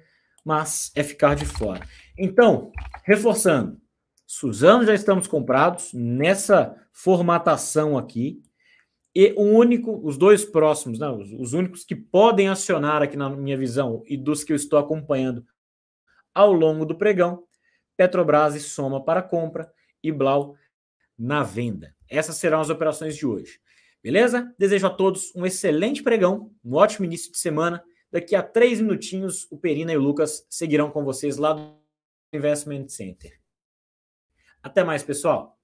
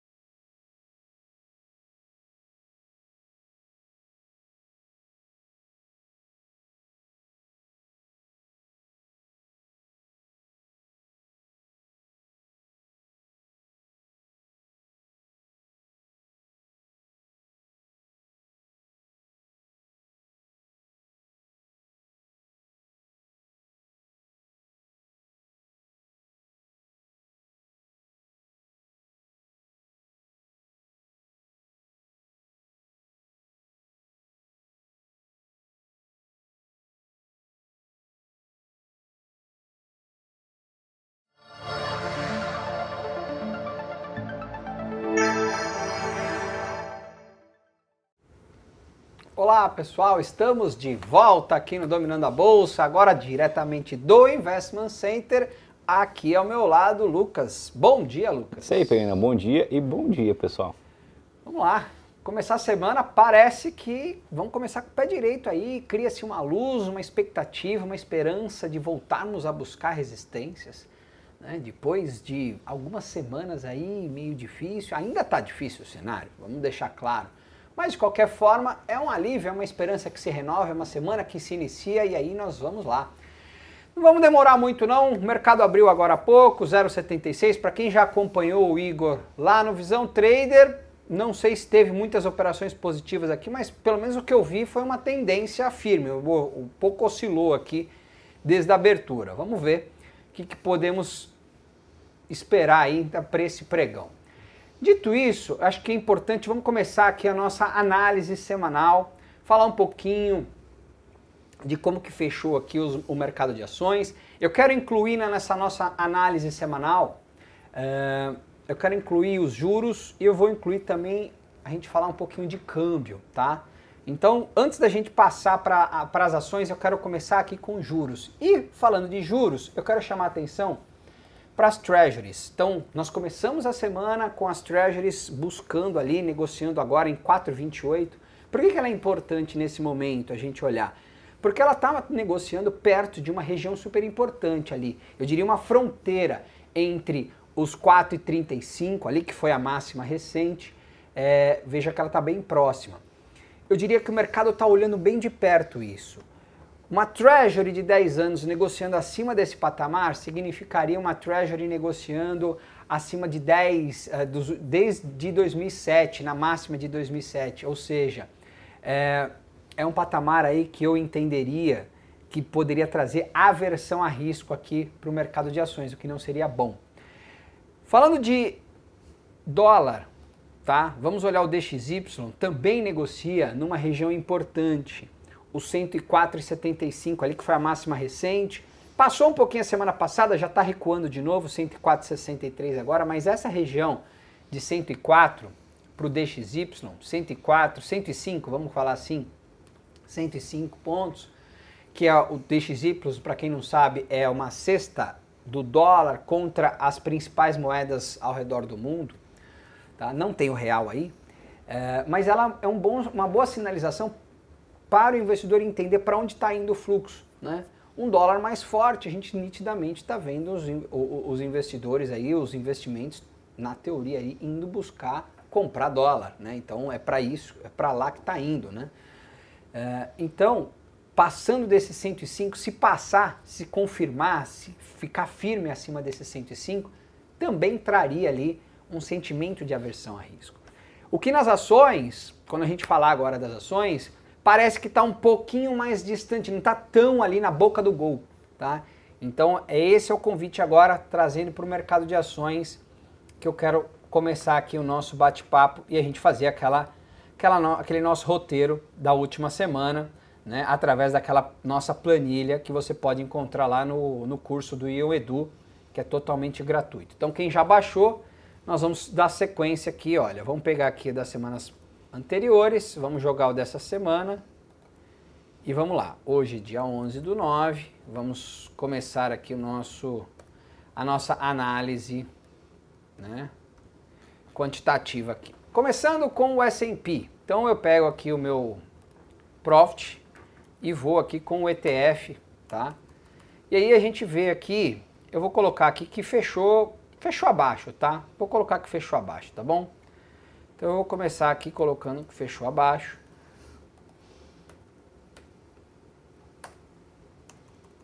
Nasdaq fechou acima, tá?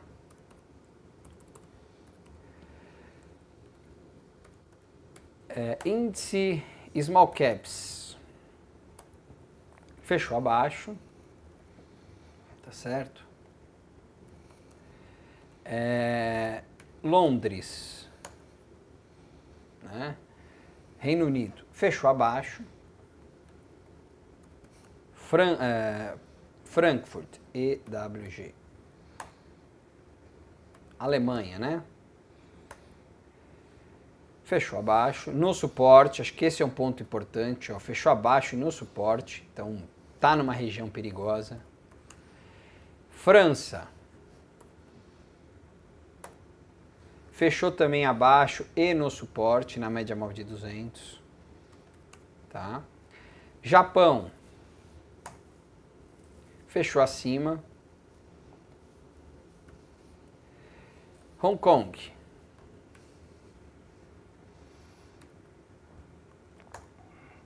fechou abaixo, tá? E MCHI, China, fechou abaixo, mas acima de suporte, tá? Então, vamos lá. Qual é a leitura aqui? Nós vimos na semana passada de um número mais 5, o que, que significou ali? Nós tínhamos dois movimentos aqui, menos 9 menos 9, tem um movimento que mais 5. Então, claramente, sem olhar gráfico, tá? você consegue perceber, olha, o mercado fechou um pouco acima da média e para como essa semana voltou a cair, o que, que a gente vê? O mercado retomando para baixo, apontando para suportes novamente. Então, o que, que, vai, o que, que você vai esperar semana que vem? Um número voltando para o menos 9, provavelmente alguns índices, alguns, uh, a, a, alguns ETFs ali, provavelmente vão estar negociando já abaixo de suporte ou bem ali na mínima de suporte. O contrário, de repente volta para mais, mais um, mais zero, por exemplo, você começa a ver, olha, está segurando o suporte, mas ainda não tem um sinal de melhora. Então repara que a evolução aqui vai trazendo para a gente um pouco de sentimento. Qual que é o sentimento agora? O mercado não engatou o sentimento de melhora, voltou a cair de novo, mas ainda acima de suporte. Então, essa semana a atenção é o suporte. Fato positivo é que começamos para cima. Então, cria essa expectativa de voltar de novo a buscar as médias. É assim que a gente começa a semana olhando para o mercado internacional. Trazendo aqui para gente, mercado brasileiro, tá? Mercado brasileiro que já começou uma deterioração aqui, ó. Menos 9, menos 9, teve um sentimento de melhora, mas muito tímido, e vamos ver como é que está agora. Vamos olhar o Ibovespa. Ibovespa em baixa, baixo da média móvel, então menos 1. Ibovespa dolarizado, vamos colocar aqui, vamos dolarizar ele, também abaixo da média de 21. Small caps.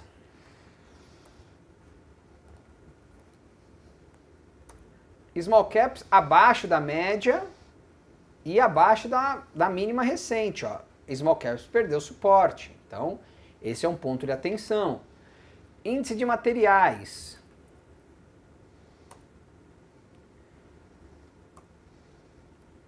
Ó, fechou abaixo da média. Índice de consumo.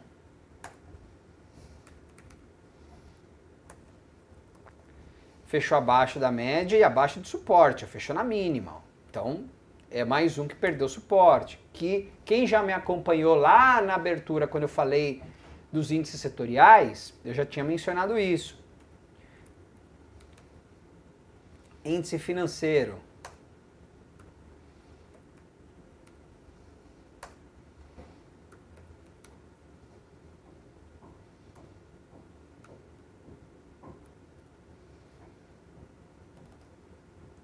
Também fechou abaixo, ó, e, e perdendo suportes também, fechou nas mínimas, né, ó. Tudo bem, bateu na média móvel de 200, está querendo voltar a subir, beleza, mas, né, abaixo de novo. Energia elétrica. Também, ó, igualzinho, ó. Industrial. Também, ó, igualzinho. E o índice imobiliário, tá? Também para baixo. Então, aqui nós, nós percebemos, quando a gente olha para o Brasil, que teve um avanço, né? Então, assim, voltamos a um pouco diferente do mercado internacional, que a gente viu o respeito pelo, pelos suportes. Aqui no Brasil a gente não viu isso. Nós vimos o quê? A maioria dos índices perdendo mínima, marcando novas mínimas. Então, Se fosse comparar o índice, uh, o cenário internacional com o cenário local, eu diria que o cenário local está mais deteriorado do que o cenário internacional. Vamos torcer para que essa semana, respeitando os suportes lá fora e partindo para um movimento de recuperação, indo buscar as médias móveis de 21, fazendo esse movimento aqui, tá? Vamos pegar aqui a bolsa americana, por exemplo, né? Fazendo a bolsa americana não, vamos pegar a europeia, que é mais fácil aqui, que aqui. Ó, pegar é esse movimento na Alemanha aqui, ó, vindo buscar a média móvel, né, vindo buscar as resistências, possa fazer com que aqui a gente tenha um alívio. Então, um alívio dessa semana, tá, não é sinal de alta ainda. Esse é o ponto que eu quero chamar a atenção. Ah, Perina, mas eu fiz algumas compras lá fora tal, eu, eu saí muito, eu quero começar a voltar a comprar. Tudo bem, fica de olho, nós vamos falar agora do radar de oportunidades. Alguns nomes acionaram a semana passada. Quem, quem comprou a semana passada provavelmente não viu evoluir ainda. Então, não tem necessidade de abrir uma outra operação agora. A não ser que está muito fora, mas não acho que é o caso. Então, repara que quem já fez a semana passada não vai fazer agora, vai esperar o desenrolar dos próximos passos. Mas caso contrário, é o momento ainda do mercado mostrar consistência na melhora. Então, o movimento de alta essa semana não quer dizer muita coisa. Pode surgir algumas oportunidades no âmbito intraday, mas no gráfico diário, oportunidades reduzidas por enquanto. Dito isso, eu pauso por aqui e já chamo o radar de oportunidades. Solta a vinheta aí, vamos lá.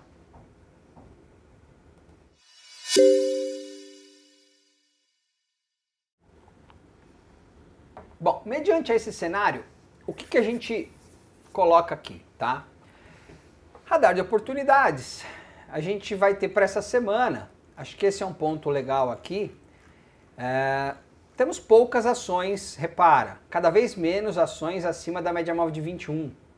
Isso mostra o reflexo ali. Então, assim, esses papéis, esses nomes que estão aqui atrás, né? Repara que poucos nomes estão perto de um ponto de compra. Pouquíssimos nomes. Talvez uma Kepler Weber, uma Elemídia, é, mas não muito diferente. Nós não vamos ter para hoje, né? Para hoje quase, para hoje nenhum, tá? Por que nenhum? Perina, por que, que você está falando nenhum? Porque nós estamos colocando aqui de novo isso já vem já de umas duas semanas, o filtro. Então, qual que é o filtro? Esperar o fechamento. Então, ele mídia. Tá aqui, ah, tá 1,90, mas nós colocamos um asterisco em todas aqui, ó. Então, passando 17,87, tá? Ó, fechando acima aqui de 17,87, a gente vê um ponto de compra, né? Nesse papel, papel que subiu muito forte aqui. A gente vê um ponto de compra. Então, esperar fechar acima, tá certo? E aí, rompimento da máxima do dia com stop aqui, ó, na casa de 13,17, ó. Aqui é um stop alto, né, para poder Outro nome que me chama atenção, eu vou colocar aqui Kepler. Eu acho que Kepler é um nome legal tá? Então, é um papel que afundou, recuperou muito forte, né? Aqui deu o primeiro ponto de compra, aqui deu o segundo ponto de compra. Eu não sei se a gente pegou em algum radar de oportunidades, talvez até tenha pego, tá certo? E foi bem, continua, e aqui vai dar um novo ponto de compra, ó, que é praticamente, não é uma máxima histórica, mas pode-se dizer que é uma máxima tão equivalente quanto a uma máxima histórica, tá? Olha, papel tá certo? Então, seria outro ponto de compra que eu acho que está numa, numa tendência legal. Prio é um outro nome que daqui a pouco nosso querido Vitor Natal vai estar aqui conosco falando sobre o cenário que ele está enxergando, sobre a ótica fundamentalista, falar um pouquinho de como que ele está posicionado na top 5, o que, que ele espera ali com os cinco nomes que ele está. E Prio é um nome interessante que está lá na carteira dele e vai dar novo ponto de compra, ou seja, tendência de alta bem consolidada, passando 49,06 ali, né? A gente deixa aqui os filtros e etc. Seriam nomes bastante interessantes. E mais um que eu quero destacar é a Mills. Então, Mills também muito parecido com Kepler-Weber, tá certo? Muito parecido com Kepler-Weber.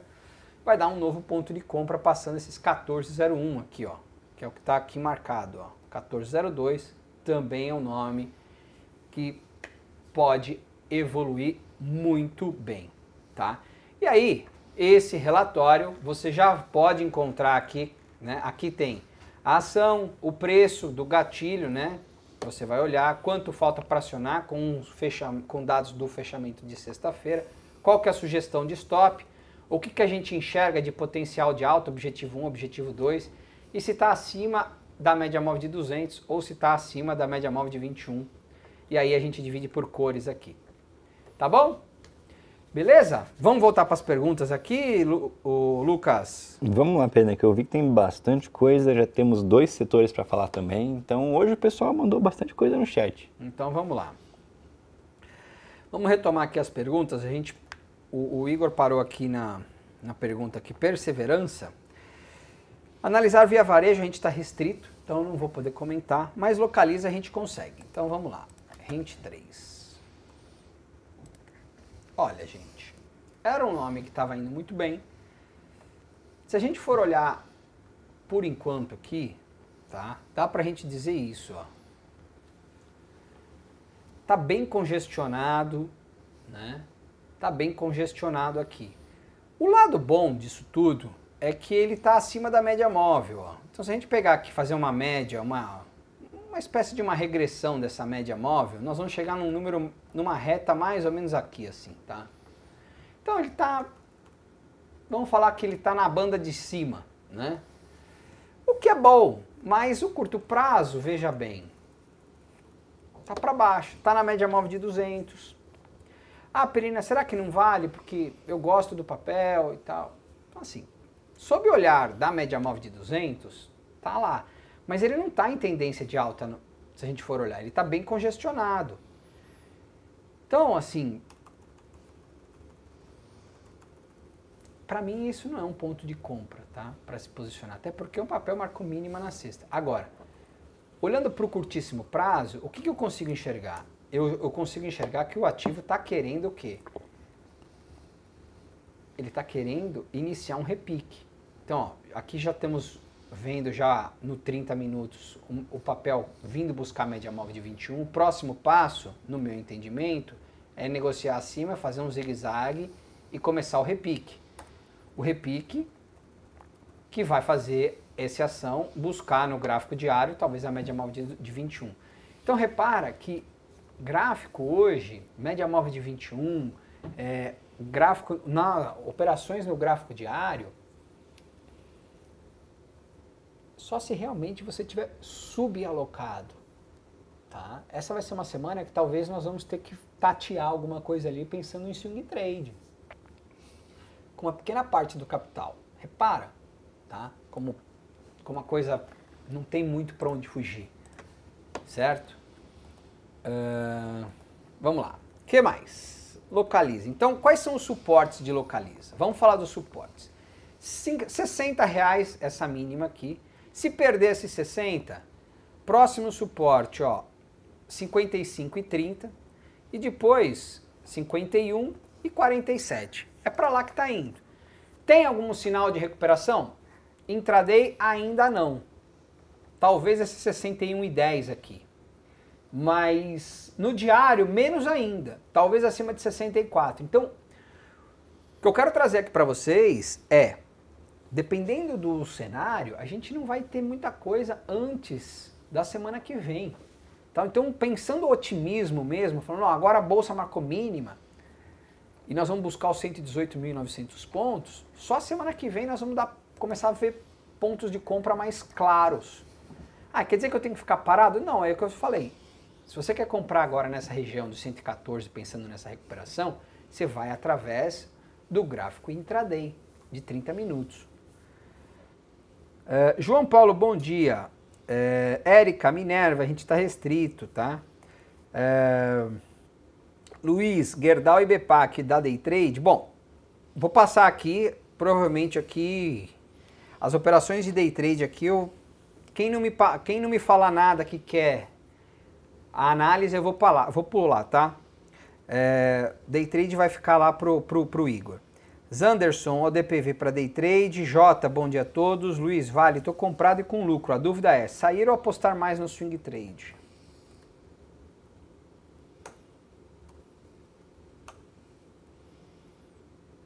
Hum.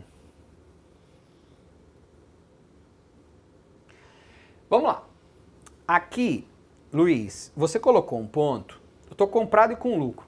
E aí eu vou dar um, um, um, um feedback quem quiser e quem quiser compartilhar, vai, vai tornar esse, esse nosso bate-papo, essa nossa conversa mais rica, na minha visão.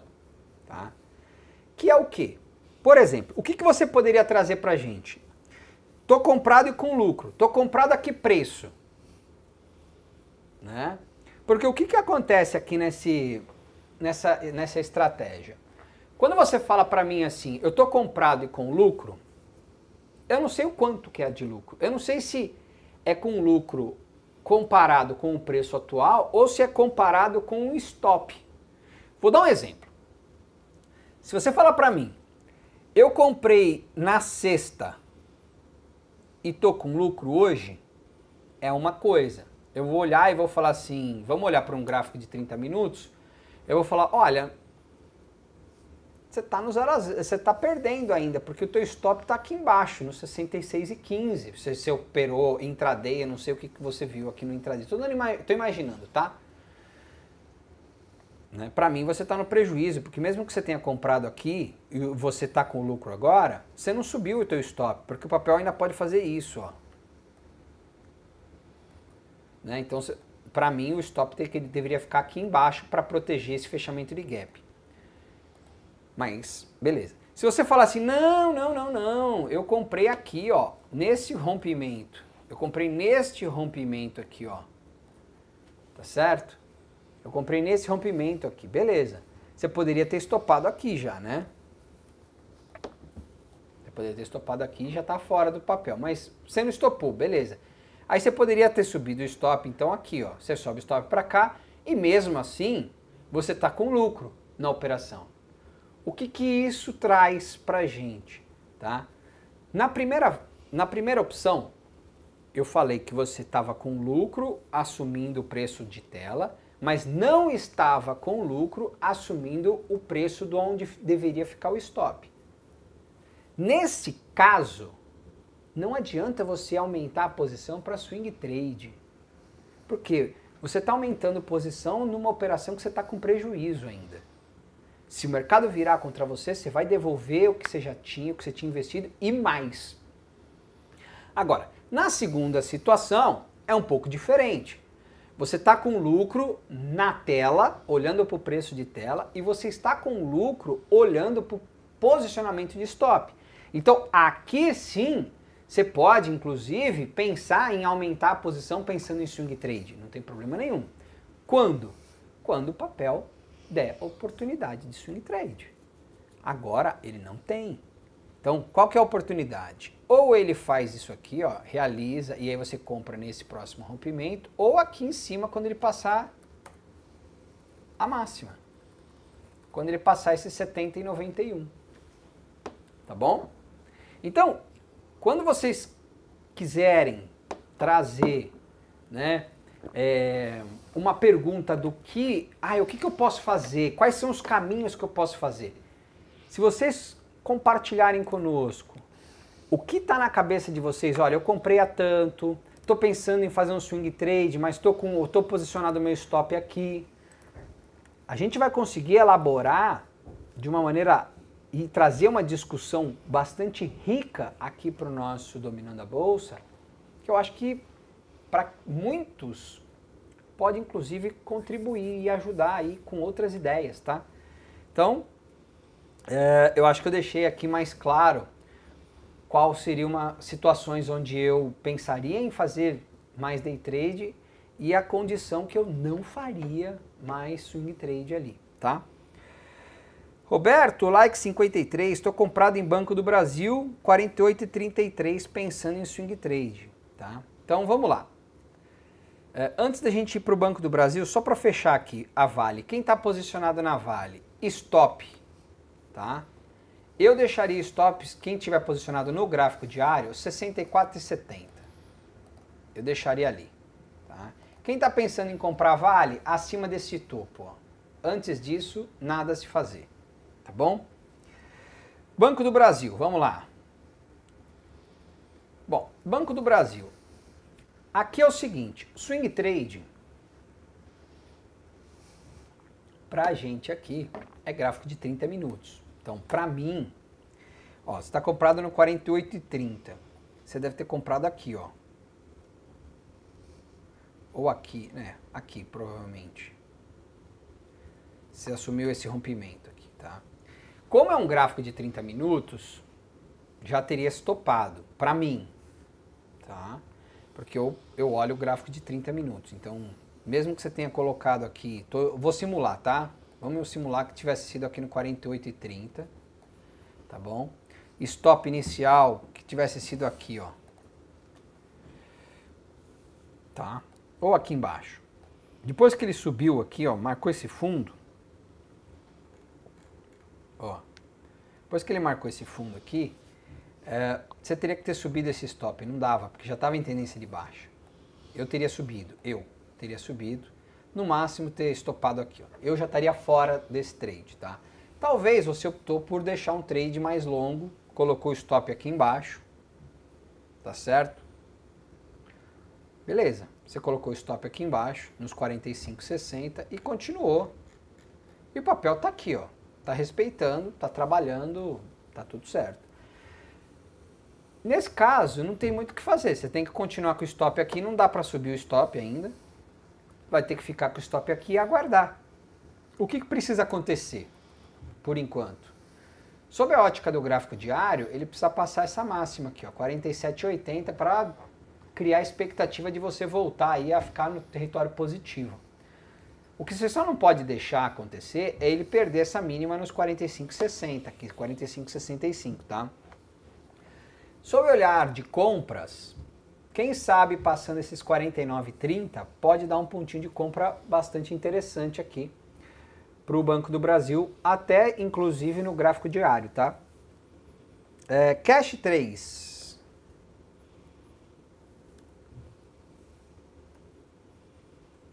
Nova mínima. Nova mínima histórica não tem o que fazer, gente. Nova mínima histórica não tem o que fazer. Ficar fora, tá? Não tem o que fazer. Perdeu hoje 6,16, não tem compra aqui. Não tem. É, INBR para médio prazo.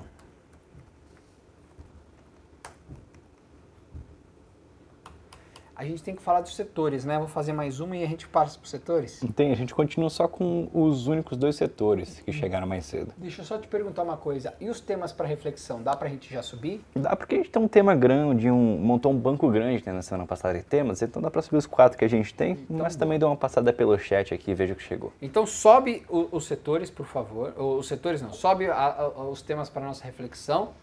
E aí, quando você subir, a gente vê, dependendo do horário, a gente. Ou a gente. Daqui a pouco deve estar chegando o, o, o Vitor. Se o Vitor não, não tiver por aqui, a gente passa rapidinho os setores e aí é o tempo dele chegar. Fechado. Bom, INBR pensando em médio prazo, gente. Das duas, uma aqui, tá? Eu colocaria, pensaria em stop ou aqui nos 13,70 ou aqui, ó, nos 11 reais, tá? Então por quê? Porque eu vou olhar no gráfico semanal. Gráfico semanal, esses 13,70 eu acho que tá bem tá bem protegido. Se quiser mais, nesses 11 reais aqui, tá? Mas para mim é isso aqui pensando em médio prazo. Compras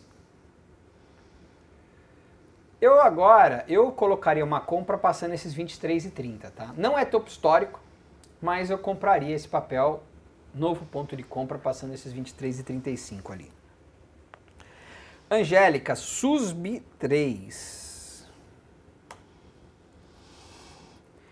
Então, o SUSB 3 deu um susto, na sexta-feira, perde o suporte, deixa uma mínima aqui, respira de novo. Mas assim, tá longe agora, né, de pensar numa compra, pensando aqui em Suzano agora, né? Eu acho que ficou mais difícil. Tá com zigue-zague para baixo aqui, agora vamos ver onde ele vai fazer topo, né? Se passar aqui, beleza, mas poxa, você vai deixar um stop tão longo aqui? Eu tô um pouco reticente aqui no caso de Suzano, tá certo? Então, acho que esse papel vai vir, tá vindo fechar gap, mas eu deixaria ele de fora agora, nesse momento. 51,90 ali, se passar, vai ser positivo, mas olharia para ver se faz sentido uma compra ou não. Vai depender de muitos fatores. E o cuidado se perder esses 47,50, desse papel vir buscar os 43. Que eu acho que poderia ser um, um stop aí de mais de médio prazo, tá? Esses 43,30 por aqui. É, como é calculado o preço teórico, Érica? Pergunta aqui. Preço teórico, ele tem algumas regras de cálculo, tá?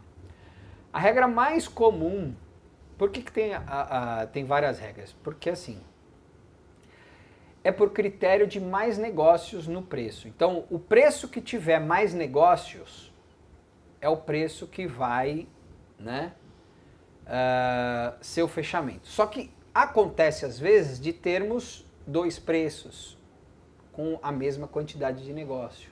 Né? Por exemplo, 18 e 20 tem 1 milhão de negócios e 18 e 21 tem 1 milhão de negócios. Então tem outro critério aí. Então tem algumas peculiaridades, né, em alguns casos, é, mas o ponto mais importante é que o preço de leilão, o teórico, ele é formado pelo, né, basicamente, pelo maior número de negócios. Maurício, suportes do IBOV. Bom, a gente já comentou, né? A gente já comentou lá no falando na análise do Ibovespa que agora a gente faz a partir das 8h30, tá bom?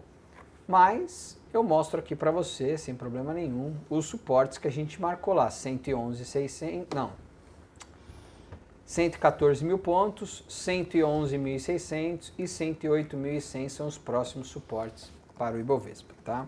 Já tá lá? Enquete no ar. Então vai lá. Vou pegar aqui os temas. Anotando aqui os setores que chegaram agora, que o pessoal mandou mais três. Mas vamos lá, temos para a gente tem stop financeiro, que é uma pergunta do Jefferson, que ele perguntou para a gente se, na nossa opinião, o stop financeiro deixa você mais vulnerável ao stop loss. Stop financeiro vale lembrar que é aquele stop que não pensa se a ação cair 30% ou 20% que eu vou sair, mas se na minha posição eu perder 200 reais, 300 reais, aí eu saio, independente do quanto ela está subindo ou caindo. O que importa é o prejuízo.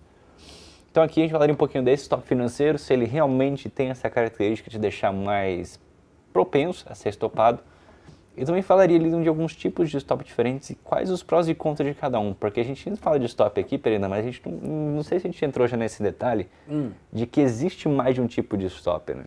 Então, um ponto importante para a gente falar aqui também. Segundo tema, zona de conforto, é um sobre o Matheus que ele mandou, um tema do Matheus que ele mandou aqui, que é se a gente realmente está dispostos a aprender e se adaptar à evolução do mercado, que muita gente prefere ficar naquela zona de conforto, no comodismo, como ele colocou, e aí um ponto interessante, que a gente sabe que o mercado é aprendizado constante, a gente sempre, a gente, claro, a gente vai estudando, a gente vai entendendo um pouco mais o que está acontecendo, mas 100% acho que é impossível entender 100% no mercado e sempre vai ter coisa nova, a gente vai ter que ver, por exemplo, inteligência artificial de uma hora para outra, tentar entender o impacto disso, depois vai surgir outro tema com certeza, enfim, qual é o perigo de você ficar aí nessa zona de conforto no mercado e parar de se adaptar a ele. Tem um pouco, tem um importante nesse tema. E a gente colocou aqui. também, e, tem, e, é esse daí também que a gente coloca da, da fronteira, né? Porque também você ficar mudando muito também, você. É, tem um equilíbrio aí, entre mudar muito e ser muito rígido, né? Aquela história de é. renda, como é, renda variável com cenário fixo não funciona Exato. muito. Exato. Então tem, tem um pouco disso aí. Acho que vale a pena balancear bem essas duas coisas. Mas é um tema legal também esse. Um terceiro tema, que é uma pergunta do Jota, que a gente estava tendo uma discussão semana passada, né, sobre inflação e tudo uhum. mais, e uma das coisas que surgiu foi isso. Se o preço realmente desconta tudo conforme a teoria de Dow, que a gente tem, ele perguntou se essa teoria tem relação com a do mercado eficiente e se o mercado é realmente eficiente, ou seja, o que está no preço quando a gente olha. Eu Isso posso é uma, votar aqui? Essa é uma pergunta interessante também. também. O pessoal mandou. Os temas hoje foram, os temas hoje estão muito legais. Eu tenho, o pessoal mandou muito bem nos temas semana passada, hein? Essa é verdade. Então é isso. Então a gente vai discutir uma coisa mais, claro, mais teórica sobre o que está no preço quando a gente olha, mas é importante que a gente entenda isso também. Quarto tema aqui, análise de risco. Aí também é uma pergunta do Sérgio, que ele perguntou se aquele filtro que a gente faz quando a gente coloca no radar de oportunidade sobre estar tá acima ou abaixo da média, os índices setoriais, se esse filtro tá quando a gente olha, por exemplo, alguns ativos isoladamente. É, e também falei um pouquinho de como é que você faz essa análise, né? Os setores estão abaixo ou acima da RESC, da, da média, e falando um pouquinho aqui da relação de retorno que tem nesses quesitos. Mas tá aí, Plena, quatro setores para quatro temas para hoje, estou pensando tanto setores já, mas quatro temas para hoje e temas bons, viu? O pessoal realmente caprichou nesses vídeos. Boa, e pode mandar mais que a gente e vai E pode mandar mais também, viu? Aí. Vai colocando aí no chat que a gente vai anotando, claro. Boa. Deixa eu perguntar, quantos setores nós temos aí? Setores. Com esses três chegaram agora, a gente tem cinco. Então vamos falar rapidinho enquanto chega o nosso querido Vitor, pode ser? Pode. Vamos então lá. solta a vinheta aí e vamos para os setores.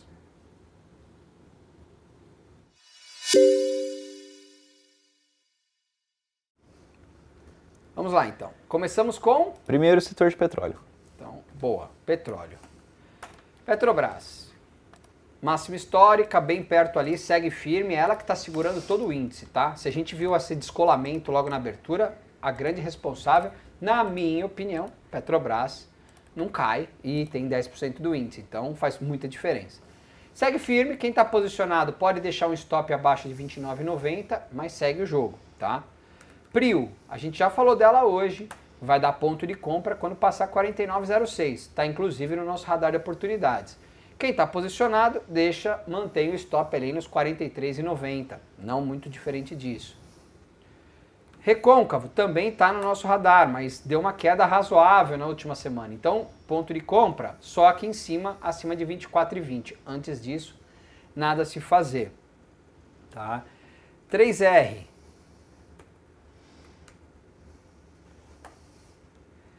Essa deixou um pouco a desejar, tá? Aqui, claro, vai dar um pontinho de compra, passando esses 33 e pouquinho aqui, ó.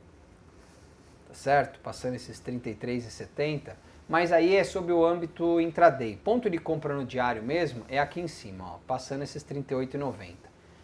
Tem que ter um pouquinho de paciência. De petróleo, pelo que eu tô vendo, tá mais para Petrobras e Prio. As menores aí deu um uma diminuída. E para fechar o setor, Enalta. Essa até deu um pontinho de compra aqui, mas eu diria o seguinte, tá, gente? É, stop deixaria aqui embaixo nos 13,40. É, próxima resistência 19, 18,90 e depois os 24.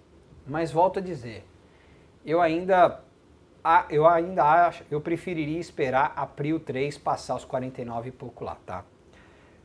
Próximo setor. Próximo setor, então, já que a gente falou de petróleo, o segundo é o setor de construção.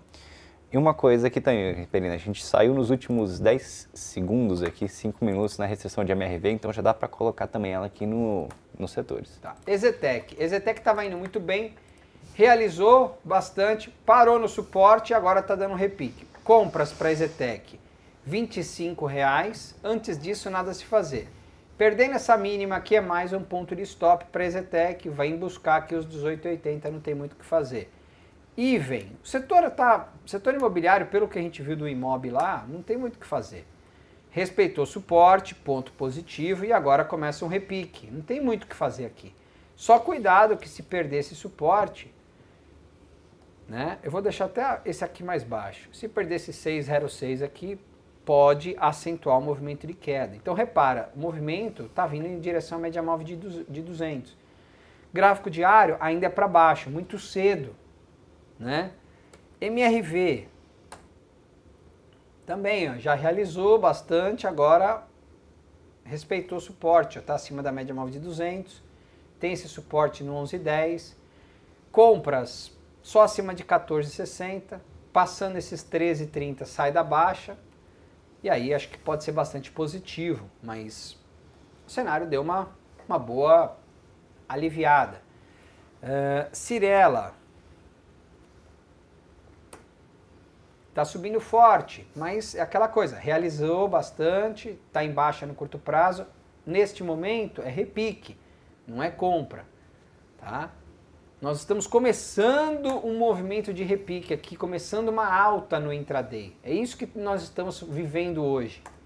Tá? Podemos continuar aí por mais um dia, quem sabe dois. O fato que nós vamos olhar daqui para frente é se esse movimento vai ser suficiente de quê? De fazer as cotações virem para cima da média móvel de 21. Essa é a questão, tá? Vamos falar de direcional agora. Também, ó, um papel que estava super firme, continua firme no médio prazo, mas curto prazo também sentiu. Compras só acima de 22,50. Por enquanto, é só repique. Cure, mesma coisa, ó. mesma coisa que direcional. Corrigiu um pouco, está em baixa no curto prazo, está acima de suportes. É para se preocupar? Não, não é. Mas de qualquer forma, não é ponto de compra, vai ter que aguardar um pouquinho mais, vai ter que aguardar um cenário de melhora por enquanto. O que mais? Mais alguma ou podemos seguir? Eu acho que podemos seguir para o setor. Então vamos para a próxima. E próximo aqui é o setor elétrico. Vamos começar com a Eletrobras. Também, ó, respeitou o suporte na sexta, hoje está querendo engatar um repique, né? Não está conseguindo, bolsa já começa a perder um pouco da força, né? Da abertura, a gente já tinha falado, quem acompanhou a gente hoje, lá na abertura, às 8 e meia da manhã, nós falamos que poderia acontecer exatamente o que aconteceu no mercado europeu e parece que está começando a acontecer aqui na Bolsa. Elet 3, quem está posicionado, gente, sinto muito, mas já era para ter sido estopado, já era para ter saído aqui, ó, nos 37,60, ou no máximo neste dia aqui, mesmo com todo prejuízo. Tá? Agora, quem está posicionado nela, ou deixa o stop nos 33,40, ou deixa aqui embaixo nos 29,60. Eu deixaria aqui embaixo mesmo, ó, 28,60. 28,40, quer dizer. Tá? Uh, transmissão paulista. Também. Essa está mais tranquila, mas curto prazo ruim. Acima da média móvel de 200, ok. Próximo suporte 22 e 20. Não vejo ponto de compra aqui como trade. Quer comprar porque está na média móvel de 200? Ok, mas só por isso. A Loop 11. Tá por aqui, ó. Tá bem de lado acima da média móvel de 200, compra acima dos 30,45, que é a máxima histórica. Antes disso, nada a se fazer.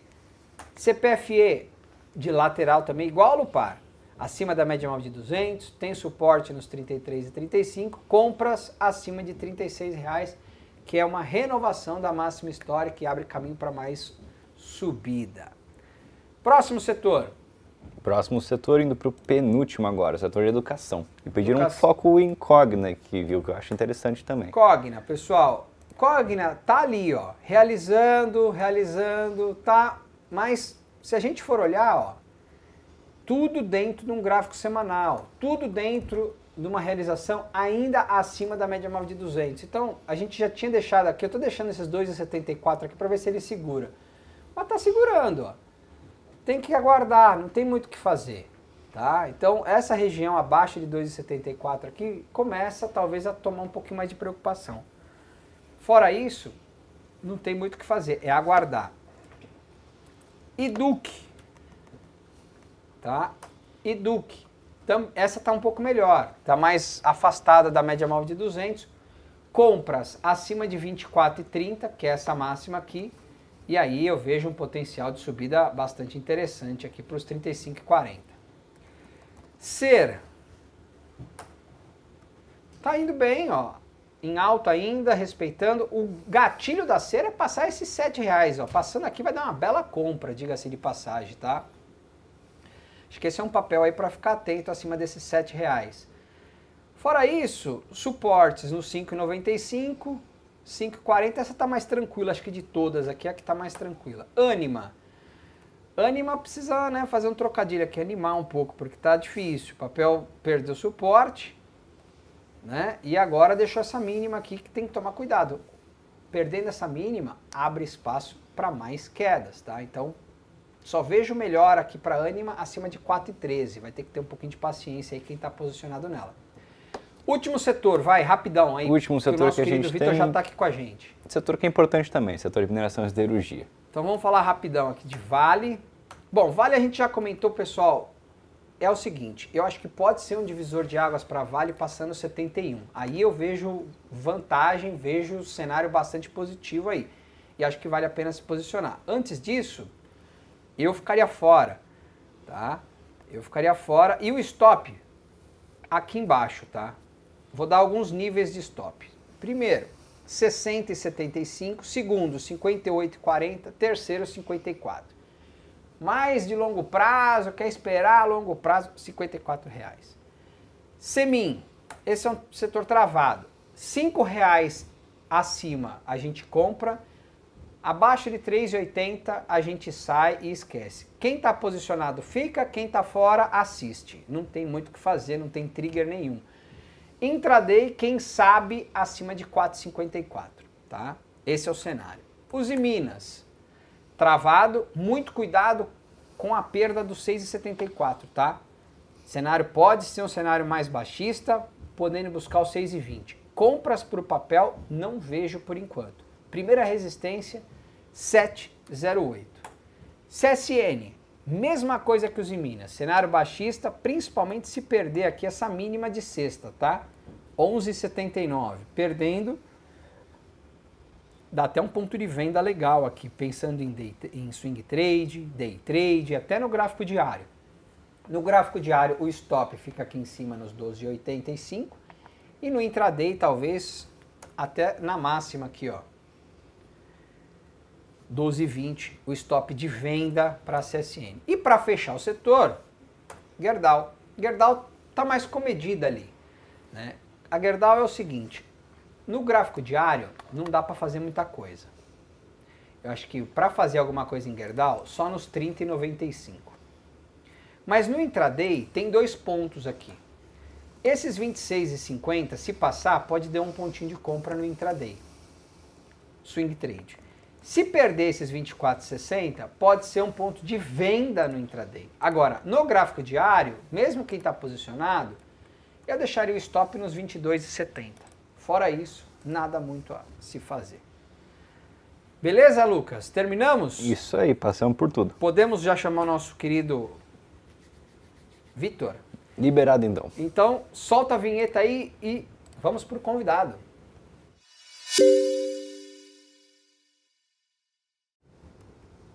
Chega mais. Fala, Fala, querido, como é que bem? estamos? aí, tudo bem? Lucas. Fala, pessoal, tudo E aí? bem? Prazer Vamos- estar aqui com vocês. Vamos lá, Vitor. Bom, para quem ainda está chegando agora, o Vitor é o nosso estrategista. Falar de top 5, análise fundamentalista, tem um monte de coisa aí. Complementa aqui a nossa análise para quem gosta mais de análise gráfica, que é um pouco de fundamento. Quem não gosta de análise gráfica, gosta mais de fundamento, tá aqui ele para falar um pouquinho com a gente. Queria primeiramente, estou deixando aqui já a carta do gestor que você já publicou, a gente já vai Legal. falar dela, mas eu queria que você trouxesse para a gente um pouquinho da sua visão. A gente falou agora há pouco da análise, da análise gráfica, um pouquinho da nossa visão. Traz para a gente a tua visão no momento. Legal, vamos lá, Perina. É, pessoal, acho que o importante aqui hoje para a gente, né, até é, na continuação do que foi o mês de agosto, a gente escreveu na nossa carta, o ambiente aqui para ações, o ambiente para o Ibovespa, ele está mais calcado, ele está mais sendo influenciado por questões externas do que por questões domésticas, tá? E aí essas questões externas que eu estou colocando aqui tem principalmente a ver com China e com Estados Unidos. Na China, a gente tem um assunto que a gente já vem falando há bastante tempo. Né? Quando a gente tem a virada de 2022 para 2023, a gente tem o final da política do Covid zero na China.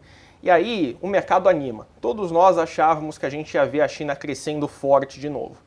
Quando a gente tem o final dessa política, realmente a China cresce bastante, mas logo em seguida a gente percebe que provavelmente isso foi o que a gente chama de demanda reprimida. A gente teve por muito tempo a China fechada e com a China fechada as pessoas, assim que o mercado abre de novo, elas consomem aquilo que elas não consumiram naquele período em que tudo estava fechado e depois tudo entra no normal de novo. E esse crescimento que a gente vê nessa virada, ele não acontece mais, tá?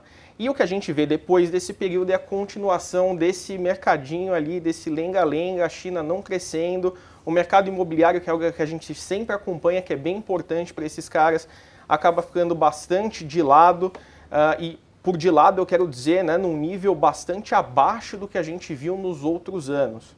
Então, um mercado bastante difícil para a China. Eu sempre trago essa estatística, é um número que a gente tem internamente aqui, que a cada 1% de crescimento do PIB da China, a gente normalmente tem 0,7% de crescimento, 0,7 pontos percentuais, desculpa, uh, no PIB brasileiro, tá? Essa é uma estimativa aqui da nossa equipe macro. Então, quando a gente vê uh, perspectivas menos interessantes para a China, isso acaba se refletindo bastante aqui em mercado doméstico, principalmente nas exportadoras. Tá?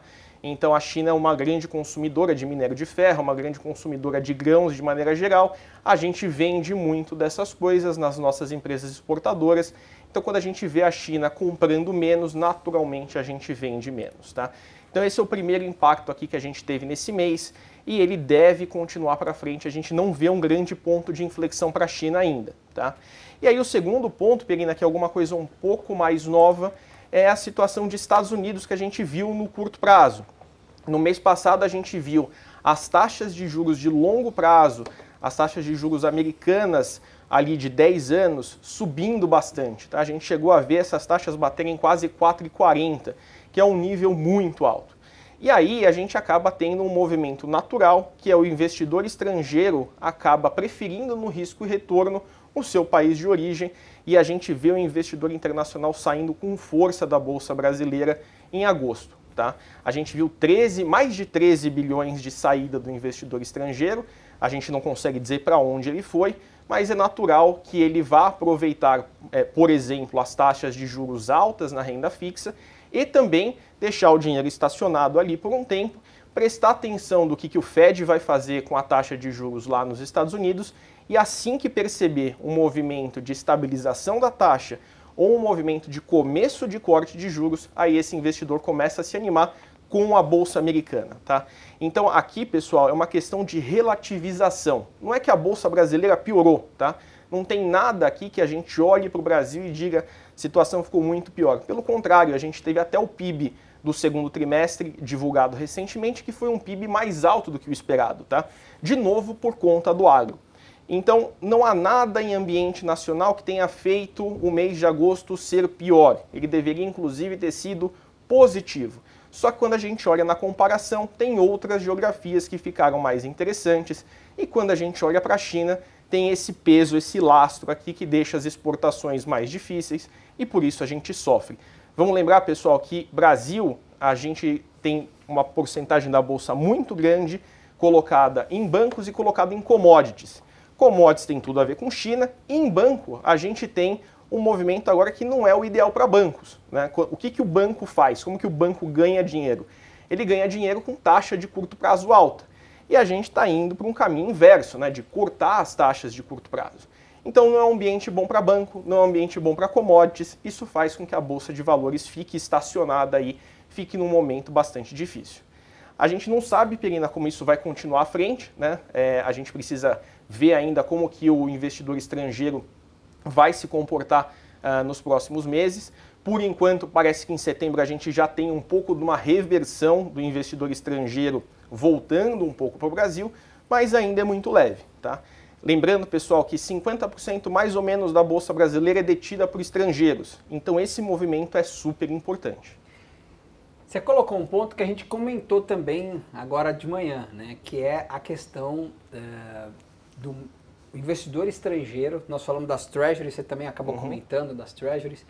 E o nosso sentimento aqui, antes de, de a gente passar para você comentar um pouquinho da, da Top 5, é um sentimento, não sei se você compartilha, mas é um sentimento, a gente vem para uma direção positiva, mas é aquela coisa assim, parece que deu uma estacionada. O mercado, a impressão que a gente tem aqui da nossa parte é que assim, estava indo muito bem, forte, pegou uma baita tração, de repente ele virou e falou assim, pera, vamos uhum. dar uma acalmada aqui, acho que não é todo esse otimismo aí. parece que nós vamos ficar otimistas, mas vamos pensar um pouquinho? É tudo isso mesmo, não é? Então nós estamos naquele jogo de no jogo no a 1, entendeu? Fica aquele jogo para cá, jogo para lá e ninguém ainda tomou uma decisão. Ainda nós temos ainda na parte nossa aqui, nós estamos confiantes ainda que o mercado possa engatar. Uhum. Isso a gente tem falado bastante. Enquanto a bolsa está acima da média móvel de 200, a gente precisa ficar positivo, porque é para onde que a gente sustenta a nossa tese. No teu caso, como é que você está vendo ali para o final do ano? Tá, tá mais ou menos assim ou ainda pode demorar mais ainda esse, esse vamos falar, essas dúvidas, essas uhum. incertezas que rondam? Como é que está aí o cenário? É, é, essa é uma boa pergunta. É, e aí a gente precisa analisar aqui necessariamente a renda fixa e os juros, tá? Que vai ser é, super importante. Eu acho que isso tá, que você está colocando é perfeito. A gente realmente teve, se eu não me engano, em maio, né? Maio ou junho, a bolsa subiu ali 9%. Foi. E desde então a gente veio falando, ó, pessoal, não se animem porque não vai ser 9% todos os meses. A gente ainda tem um target de 118 mil pontos para o final do ano, tá, Pirina? E isso está é, precisando ali de uma atualização, tá? É, mas quando a gente olha para o target do restante do mercado, ele converge para algo próximo de 130 mil pontos. Ou seja, a gente teria até o final do ano algum potencial de valorização, mas algo ali próximo talvez de 15%. Né? Então não é um grande potencial de valorização até o final do ano. E aí a gente precisa quebrar e entender por que, que a gente teve aquela valorização forte em maio e por que, que a coisa não está andando hoje. Isso tem tudo a ver com as taxas de juros de longo prazo, pessoal. Isso é super importante porque a gente vê uh, diversas casas e a gente mesmo falando aqui sobre taxa de juros caindo. Taxa de juros caindo por si só não quer dizer nada, tá? A gente precisa dizer aonde que ela está caindo que eu quero dizer é, a gente está falando de Selic, a taxa de curto prazo caindo, ou a gente está falando da ponta longa da curva de juros, ali 10 anos para frente caindo. E essas duas pontas têm impactos muito diferentes nas ações, tá? Enquanto a gente está cortando juros agora e a gente teve o primeiro corte de meio ponto percentual e a taxa de curto prazo começa a cair, a taxa de longo prazo, na nossa opinião, já fechou. E foi esse o movimento que fez com que a bolsa subisse 9% em maio.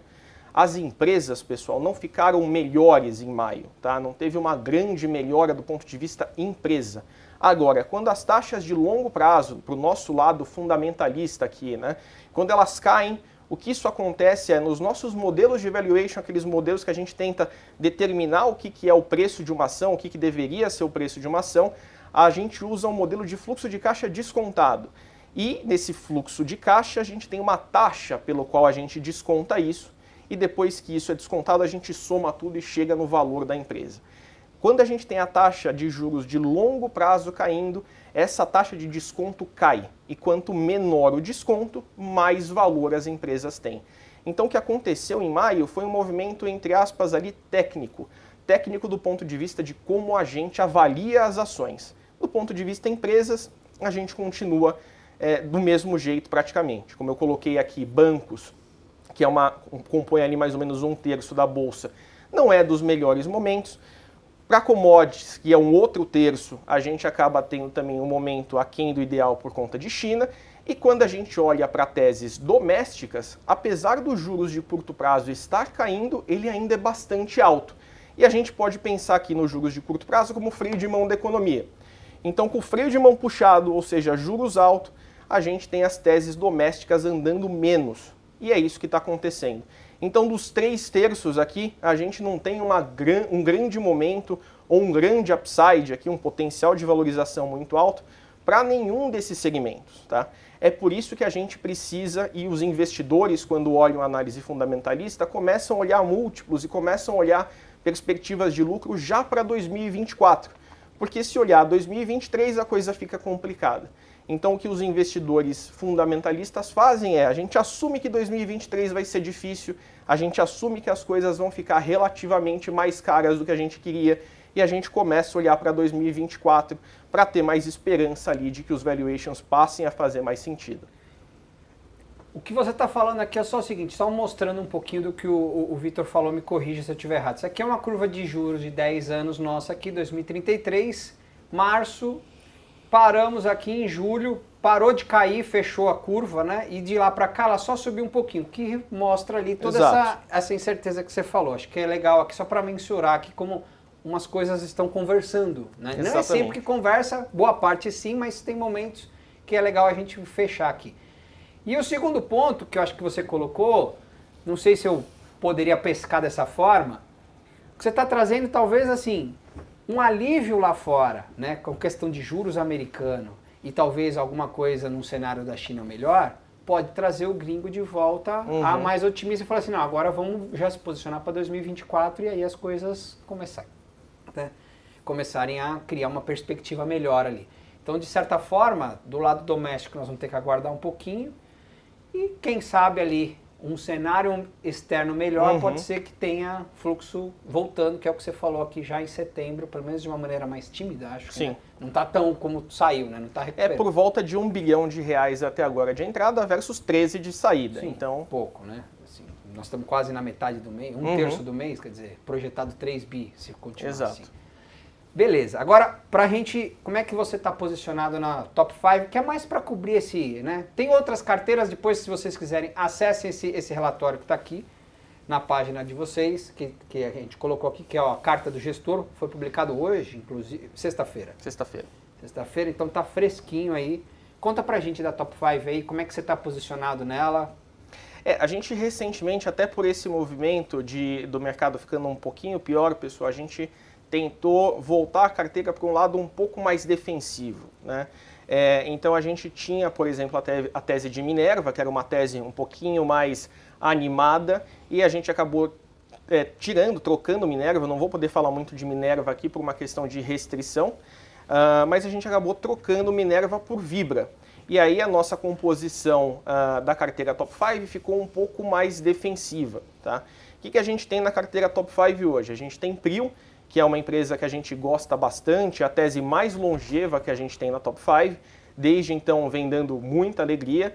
A gente acha que tem triggers de curto prazo ainda, principalmente relacionados com o campo de Wahoo e com o campo de Frade. O campo de Wahoo vai começar a, a operar a partir de, do momento que a gente tiver as licenças, e as licenças devem ser um trigger.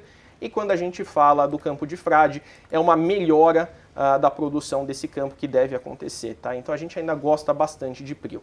A gente tem também Vibra, e aí, Perina, é importante colocar para o pessoal que, apesar dos dois estarem no setor de óleo e gás, não tem aqui um overlap de risco, tá? Não tem uma dupla exposição. Por quê? Porque Vibra, apesar de estar nesse setor, não está exposta a petróleo. Por quê? Porque ela compra o combustível derivado do petróleo que vai sofrer com a mesma dinâmica e ela vende a mesma coisa. Então, ao mesmo tempo que o combustível entra como custo, ele entra como receita.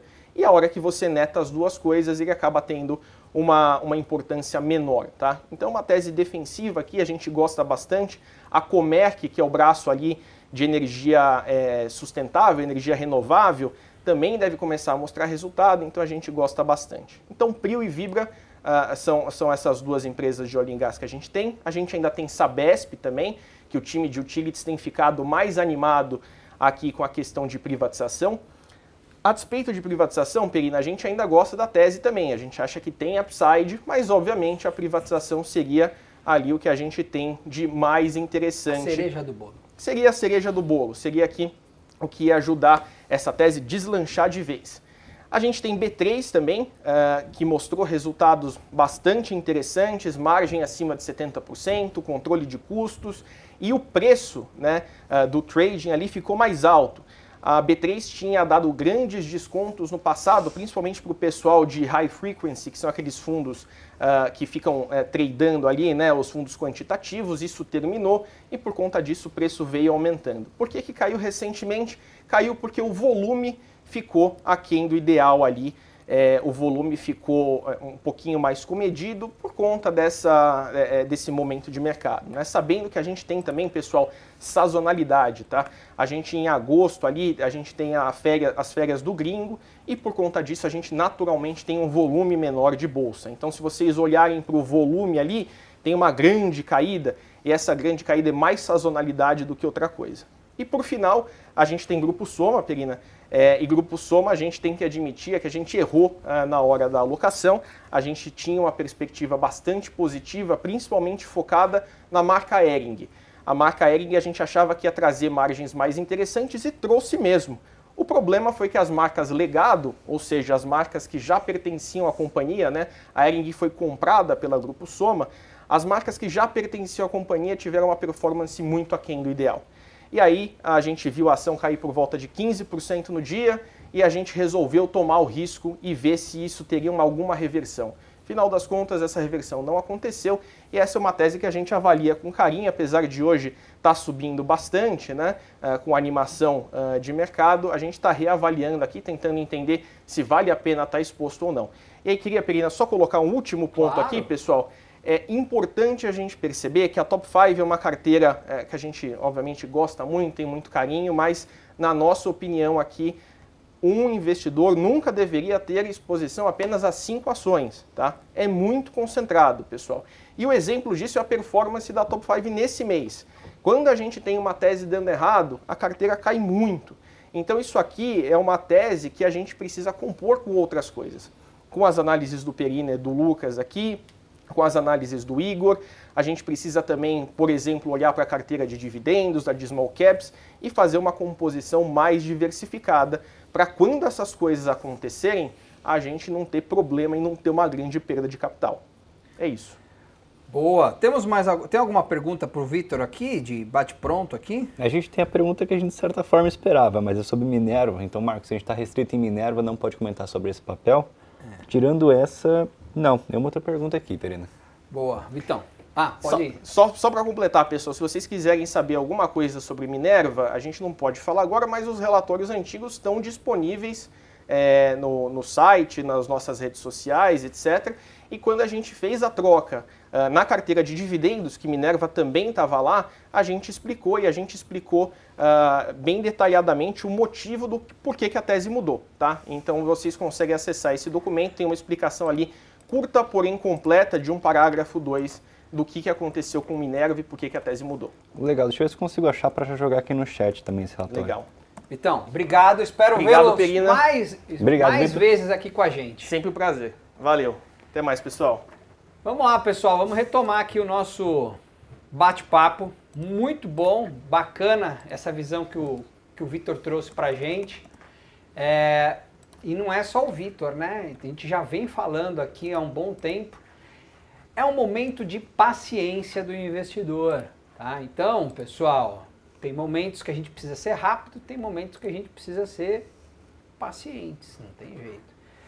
Vamos voltar aqui. Enquanto o, o, o Lucas procura, eu vou voltar aqui nas perguntas. E a última pergunta que eu parei foi a pergunta do Maurício, falando sobre Bov. A gente já comentou. Eloá, nossa, quanta restrição? Tenda, via, pets, etc. Eu acho que tenda nós estamos restritos também? Deixa eu dar uma olhada eu aqui que, que eu tô com a lista aberta. Agora, pets eu acho que não. Pets não. Pets a gente não está restrito. Não, pets a gente está restrito sim, verdade. Pets? Pets Nossa. a gente está restrito. Eu preciso incluir ela na minha lista aqui de cabeça. Porque... Também, mas tenda não. Tenda a gente pode falar. Tenda não. Então vamos falar de tenda então. Olha, tenda tem que passar esses 15,50.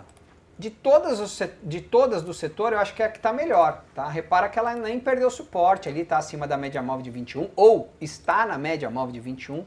Então, de certa forma, está indo super bem. 15,55 aqui é um novo ponto de compra para tenda. Tá? E o stop, para quem está posicionado, 10,75. Moacir, bom dia. Alexandre, Kepler e Simpar. Kepler a gente já comentou. Simpar. Vamos lá. Simpar está muito parecido com o que tá, nós estamos vendo no mercado. Realização, queda no curto prazo, médio prazo acima da média móvel de 200. O cenário é esse, tá? A maior parte das ações do mercado estão em baixa no curto prazo, abaixo da média móvel de 21, mas acima da média móvel de 200. Então, é um cenário que tem que ter paciência, não tem muito o que fazer. Quem está posicionado stop, eu deixaria abaixo de 8,50 e pensar em compras novamente, quem sabe, quando voltar aos 11,10. tá? Aí é olhar quando chegar lá, tá bom? Simone, bom dia. É, só peguei Suzano, pergunta, coloca a Érica aqui. Bom, acho que é dos day trades lá, né? Diógenes, pessoal, bom dia. Quando vai parar de operar pela corretora e entrar somente pelo Ion? Não sei, mas eu sei É que esse é um pergunta. projeto que está em, andamento aqui. Agora a data eu não sei. É, tá nos planos. Agora, exatamente quando vai acontecer, eu nem sei se tem data ainda. É, a gente não tem a data aqui ainda não, tá? Simone, XPBR 31. Vamos ver, XPBR 31. Olha, tá, tá indo bem, não tá ruim não. Tá acima da média móvel de 200. Está aqui, ó, com uma resistência clara, 132,40. Stop de curto prazo também tá claro, aqui embaixo. Stop de médio prazo mais aqui para baixo, ó, 87. Stop de curto prazo 115. É a que eu falo. E aí, se passar? Tem que esperar. Não tem o que fazer aqui na XPBR. 132,40 é o que tem para fazer, tá? Então, é isso. Simone, bom dia. Moacir, setor de petróleo, a gente falou. Maria, SLC, boa semana. SLC 3. Também não tem muito para onde fugir. Curto prazo, stop aqui, ó, 38,20. Médio prazo, stop aqui, ó, 34,15. Compras. Swing trade. Quem sabe acima de 41,90. Gráfico diário, compras. Quem sabe só acima de 45,30. Antes disso, tá desenhado, nada a se fazer. Tá bom? Uh, Érica, setor de construção, falamos. Matheus, IOSP, comentar se está esticada. MYPK3. Não acho que está esticada, não. E digo mais, acho que vai dar um ponto de compra aqui, ó. Passando esses 15,60. Não vejo esticada não, tá? Já corrigiu, ó, e já está retomando. Ficar de olho aqui, se passar ponto de compra, stop pode deixar aqui embaixo, ó, nos 13,50. Tá? Primeiro objetivo nesses 18, 17,90 aqui, ó, e o segundo objetivo aqui em cima. 20,75. Tá bom? B3. Bom, B3. O Vitor já comentou de B3 sobre a ótica fundamentalista e sobre a ótica gráfica. Olha, a B3 está chegando num patamar aqui de 12,20 que é muito forte, tá, gente? É um suporte muito forte. É, daqui é para cima, tá? Tem que recuperar isso aí. Não dá pra ficar muito abaixo disso não, tá? Porque, ó, sob o olhar de semanal, abaixo desses 12,20 já começa a ganhar tração para baixo no semanal. A, a- a- repara bem a média, a média já está embicando para baixo, o preço negociando abaixo. Então, assim, ela tem que começar a corrigir, tem que começar a recuperar. Até para quê? Para começar a fazer sentido esse desenho, ó. Né? Então, ela tem que começar a criar forças aí reagir. Se perder esses 12,20, pessoal, aí o movimento de médio prazo vai embora. Aí nós vamos ter chances dessa B3 aqui, ó, vir buscar os 10 reais. O que eu acredito que se isso acontecer, perdendo esses 12,20, não vai ser momento bom para a bolsa. Não tem por onde, tá? Não tem por onde. Então esse é um ponto aí de preocupação para a B3. Curto prazo, pessoal, talvez ali acima desses 13,35 a gente possa ver um cenário mais positivo. Ó, a bolsa voltou perto da máxima, Lucas. Estou vendo aqui, alta de 0,90 e também o mercado americano É? deu uma ajudada, subindo 0,50 aqui o S&P e jogou um pouquinho mais de otimismo Que assim seja, né? Tomara que continue assim. Alexandre, HCTR11 despencando. Cê- a gente está restrito nesse nome? Você sabe? O hectare, muito provavelmente sim, ele passou um tempão em restrição, deixa eu ver se continua. É, tá caindo 23, eu tô vendo aqui. Só passar aqui. É, não tá na lista aqui, Perino. Então tá Não, em então podemos comentar. Sim. Não sei o que está acontecendo com esse negócio, com esse fundo, mas, pessoal, mas, ó, eu falo, eu falo bastante, tá? É... Traz a câmera para mim aqui, eu vou falar um pouquinho de fundo imobiliário. Tá? É... Análise gráfica não é ideal para trabalhar fundos imobiliários, mas ela pode trazer para você um ponto super importante, tendência. Investimento em fundo imobiliário geralmente é um investimento mais de médio prazo. Então, quem investe e quer saber se está numa boa hora, se aquele está num bom momento, se aquele fundo está num bom momento, siga a média móvel de 200. O que eu quero dizer é, um fundo que negocia abaixo da média móvel de 200 é um fundo para você ficar atento, é um fundo para você ter mais cuidado, porque a chance de continuar caindo é grande. Por outro lado, os fundos que estão acima da média móvel de 200 não quer dizer que são mil maravilhas, mas que estão sim no momento positivo. Então, se você utilizar a média móvel de 200 como um referencial, um divisor de águas, pode ser uma boa sinalização, um bom filtro para você ficar posicionado. Quando eu trago isso agora para este fundo que nós estamos vendo aqui, traz a câmera aqui para agora para o gráfico, por favor, a tela para gente. Repara que ele já vinha trabalhando desde setembro de 22 abaixo da média móvel de 21, de 200. Ele começa, aí ele perde um suporte. Perdeu um suporte, repara que isso aqui agora, aí isso aqui é só história para contar, eu não sei o que está acontecendo, mas ele já vinha mostrando para gente que não, alguma coisa não estava legal ali no fundo. Eu não sei o que, que ele é, tá? Não sei se é de tijolo, não sei se é, não sei. Mas pouco importa. O que eu quero dizer é quem olhou aqui a análise e viu, ah, olha, vou comprar porque é uma queda, é uma oportunidade, isso aqui não é uma oportunidade quando você está falando abaixo da média móvel de 200.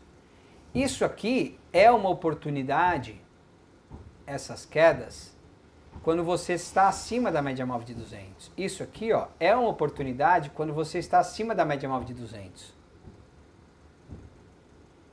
Porém, quando você está abaixo, aí já não é mais a mesma coisa. Então, esse é o cuidado que você tem que ter, tá? Esse é o filtro que a média móvel de 200 pode ajudar você na hora de investir em qualquer ativo não só no fundo imobiliário, mas essa leitura sobre a média móvel de 200 períodos, ela pode ser muito útil na hora de você fazer um filtro dos fundos, tá? Vamos lá. É, qual é o tema que está vencendo hoje, Lucas? Vamos pedir para o nosso diretor encerrar? Deixa eu ver aqui de como é que a gente está de temas. Peraí que agora não está abrindo meu chat.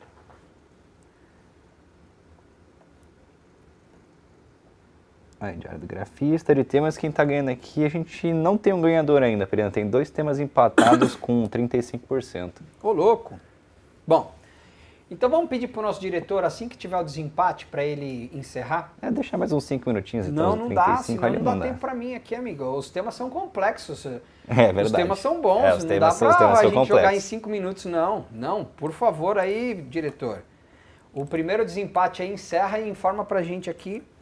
E eu vou passar a bola para você aqui, ó. Tem a pergunta do Luiz Machado, do setor elétrico, a gente já falou, e o Wagner, é do setor de educação, a gente já falou também. A Érica falando de equatorial. Vou passar para você aqui. Deixa eu ver aqui, tá nessa equatorial, né? Isso, tá. médio prazo. Boa, equatorial para médio prazo. Então vamos falar disso aqui. E o Jota tá falando de Bitcoin em dólares. Eu vou ter que pensar como é que eu vejo de Bitcoin em dólares depois, mas quando chegar a hora, vamos falar de equatorial aqui primeiro, para médio prazo.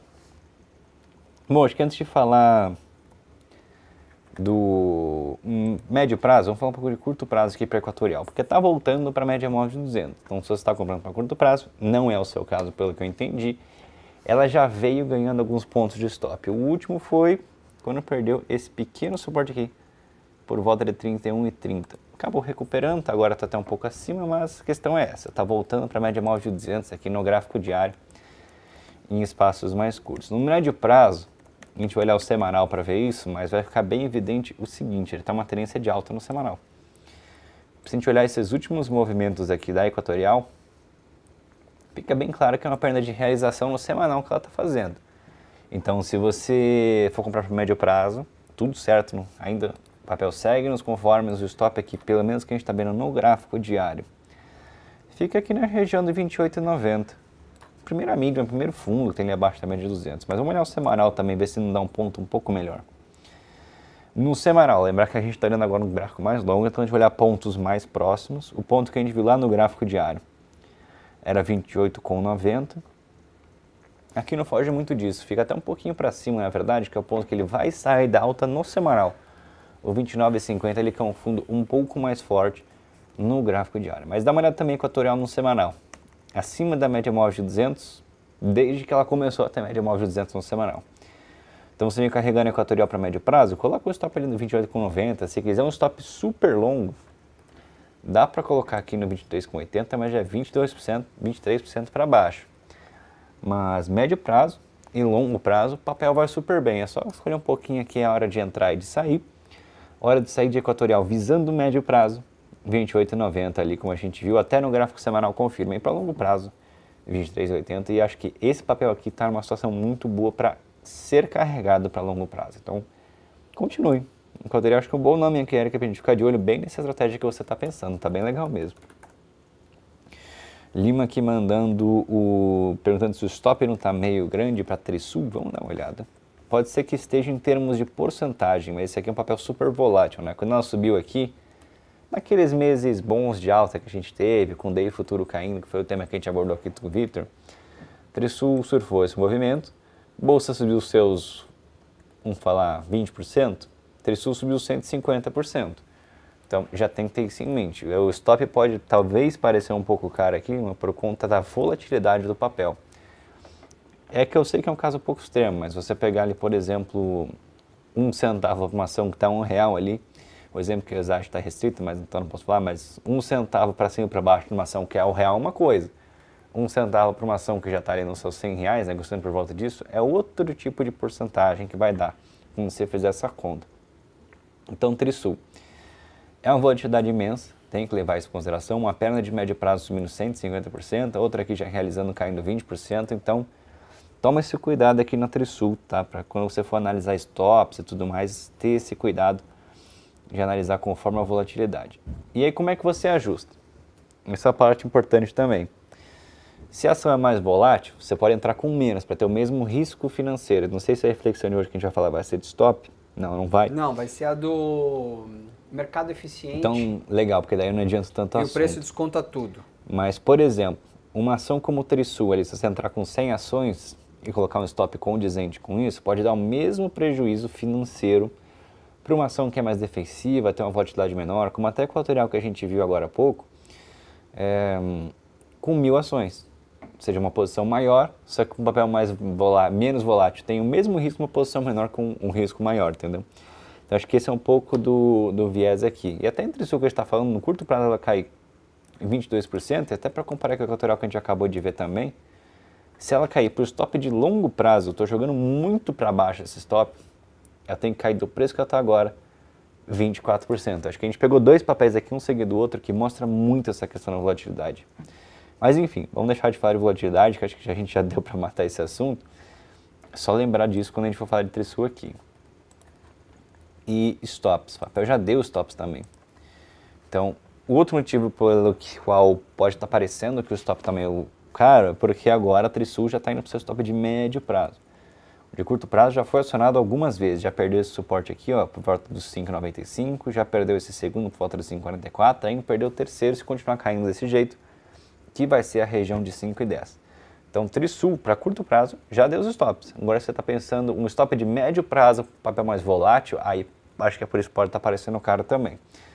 Trisul deixou uma resistência bastante forte naquela região de 7,02, então R$ 7,00 ali é um ponto de compra e eu estou até marcado com um alarme ali nesses 7 reais na hora que passar, porque vai ser um belíssimo ponto de compra. O que, que a gente geralmente faz aqui para o papel? Um dos métodos né, de projetar a tendência, você pode pegar a perna de alta, pega aqui o movimento de baixa e você projeta algo desse tamanho aqui, do movimento de alta, da perna de alta, para jogar aqui para cima. E colocar mais ou menos dessa forma. Pega o tamanho da primeira perna que foi de alta, joga ali depois da, da retração da segunda e joga aqui para cima, você tem um potencial de alta gigantesco para Trisul. Acho que chega nesse potencial? Também não é tanto, tá? Uma alta de 150%, aí cai, depois dá uma outra alta de 150%, não acho que é para tudo isso. Mas, acima de R$ reais a gente tem alguns objetivos mais agressivos aqui também. Por exemplo, superando os R$ reais para mirar aqui nessa região dos 9,95 é 37%, aí está bem legal. Mas é isso, papel com belíssimo ponto de compra, o setor agora está sentindo um pouco mais, setor imobiliário, por isso até que a gente pode estar tá vendo um pouco mais distante do 702.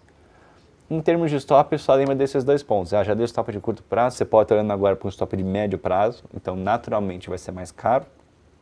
Segundo, volatilidade do papel é imensa. Papel que sobe 150% com o Bovespa subindo 3 meses de alta só, uma pernada de alta, uma tirada de alta só, é um papel hiper volátil nem super volátil, é mais do que isso. Então, cuidado com esse aqui, tá? Talvez uma posição menor faça um pouco mais sentido para equilibrar o risco desse papel, que já é naturalmente muito mais elevado quando a gente compara com uma empresa defensiva.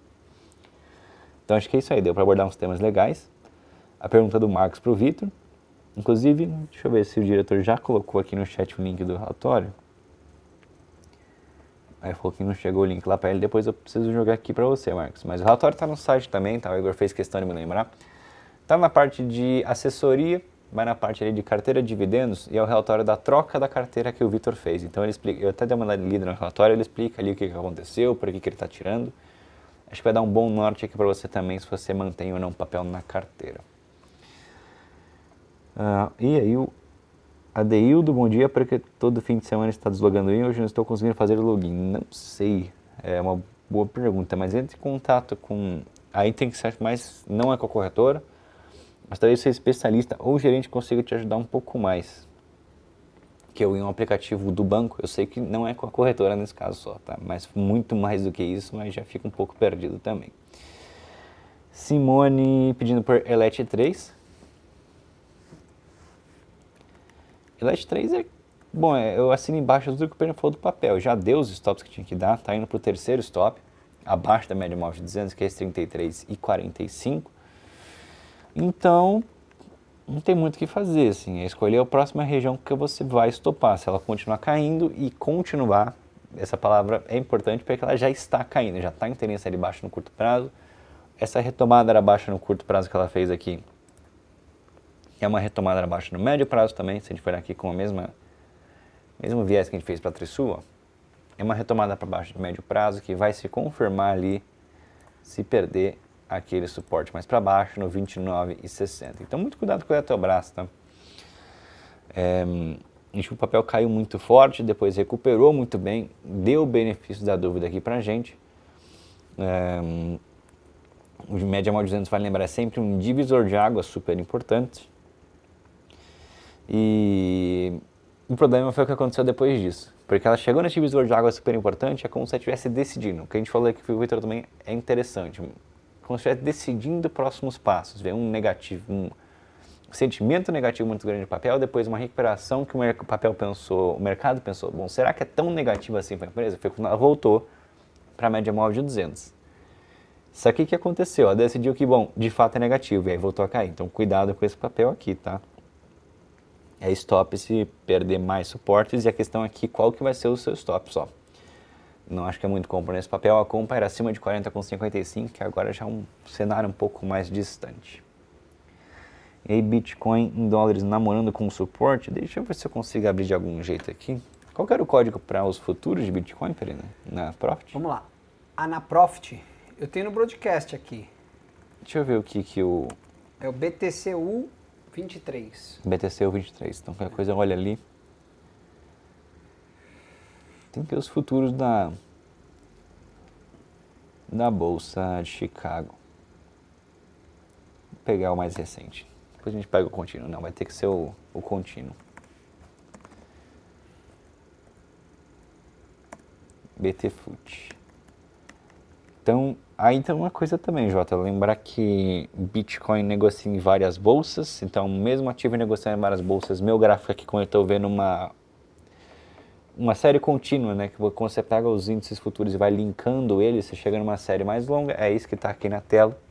Então pode estar um pouquinho diferente o gráfico que eu estou vendo do que você está vendo, até porque tem uma diferença de preço entre uma exchange e outra e tudo mais. Mas também estou vendo isso. Olhando aqui, esse, essa série contínua está bem no suporte, né? Não está tão quanto eu marquei, porque eu marquei a mínima errada. Pronto, agora foi. 24, 7, 4 a 5.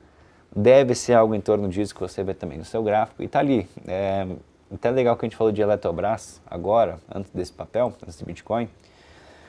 Porque o que, que aconteceu com a Eletrobras? Estava em queda forte, depois recupera, volta para a média móvel 200 e agora confirma que sim, é para baixo e é negativo o que aconteceu com aquela ação.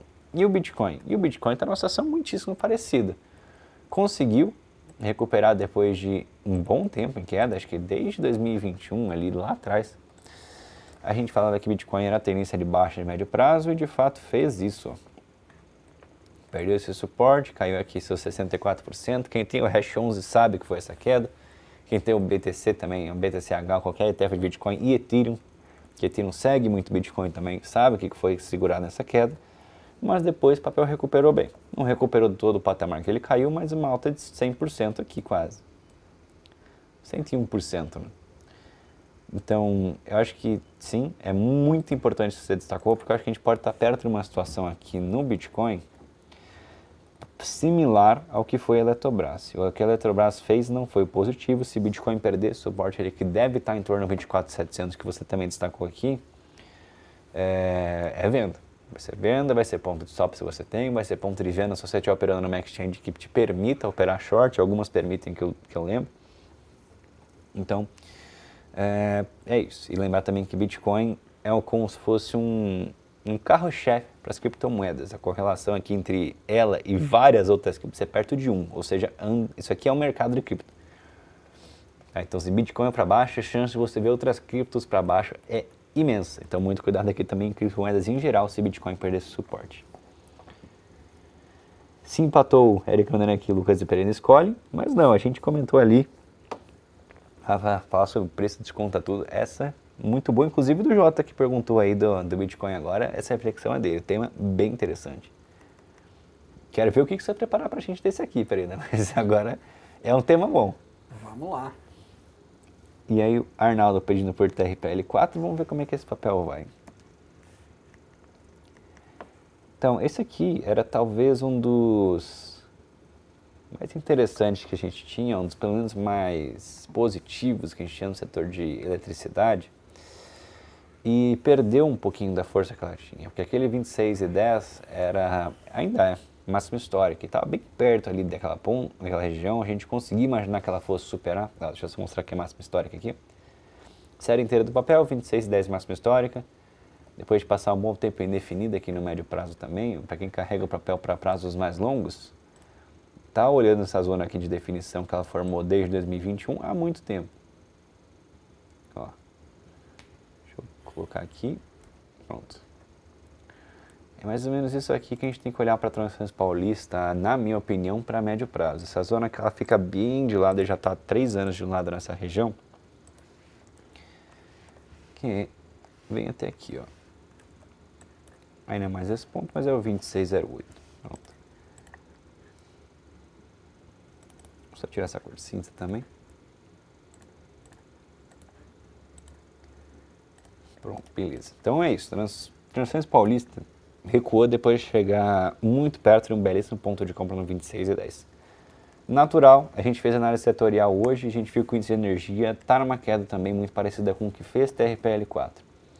A Eletrobras também, outra grande representante do setor, também queda forte, voltou para queda baixa também de mal de 200, então a gente viu que o setor naturalmente perdeu força mesmo.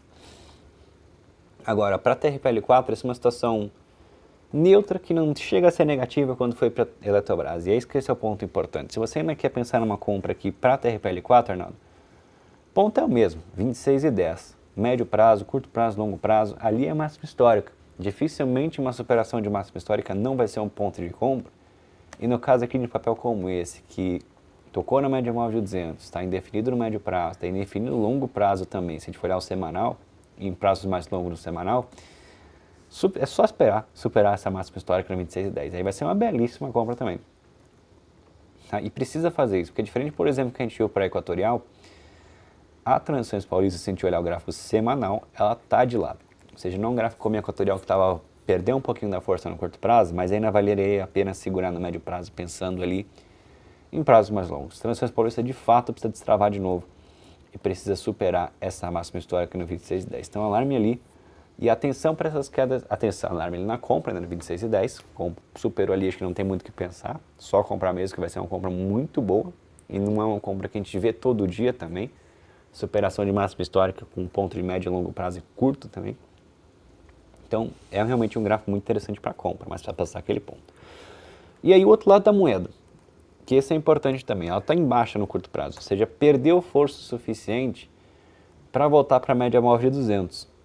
Então, e a gente precisa acompanhar isso. Pregão de hoje, inclusive, a média móvel de 200 foi tocada. A média móvel de 200 passa aqui por volta de 23,95, mínima de hoje 23,96. Então está tá fazendo aquele teste. A gente falou de Bitcoin na média móvel de 200, a gente falou de Eletrobras na média móvel de 200.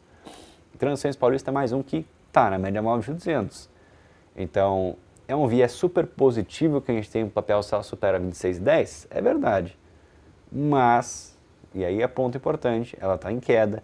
Testou a média móvel de 200 agora e se segurou. Se começar a perder esses suportes aqui, por exemplo, 23,55, 22,85, aí vai dar a ponta de stop, venda no curto prazo e vai descartar um pouquinho esse cenário de 26,10 pelo menos por um tempo.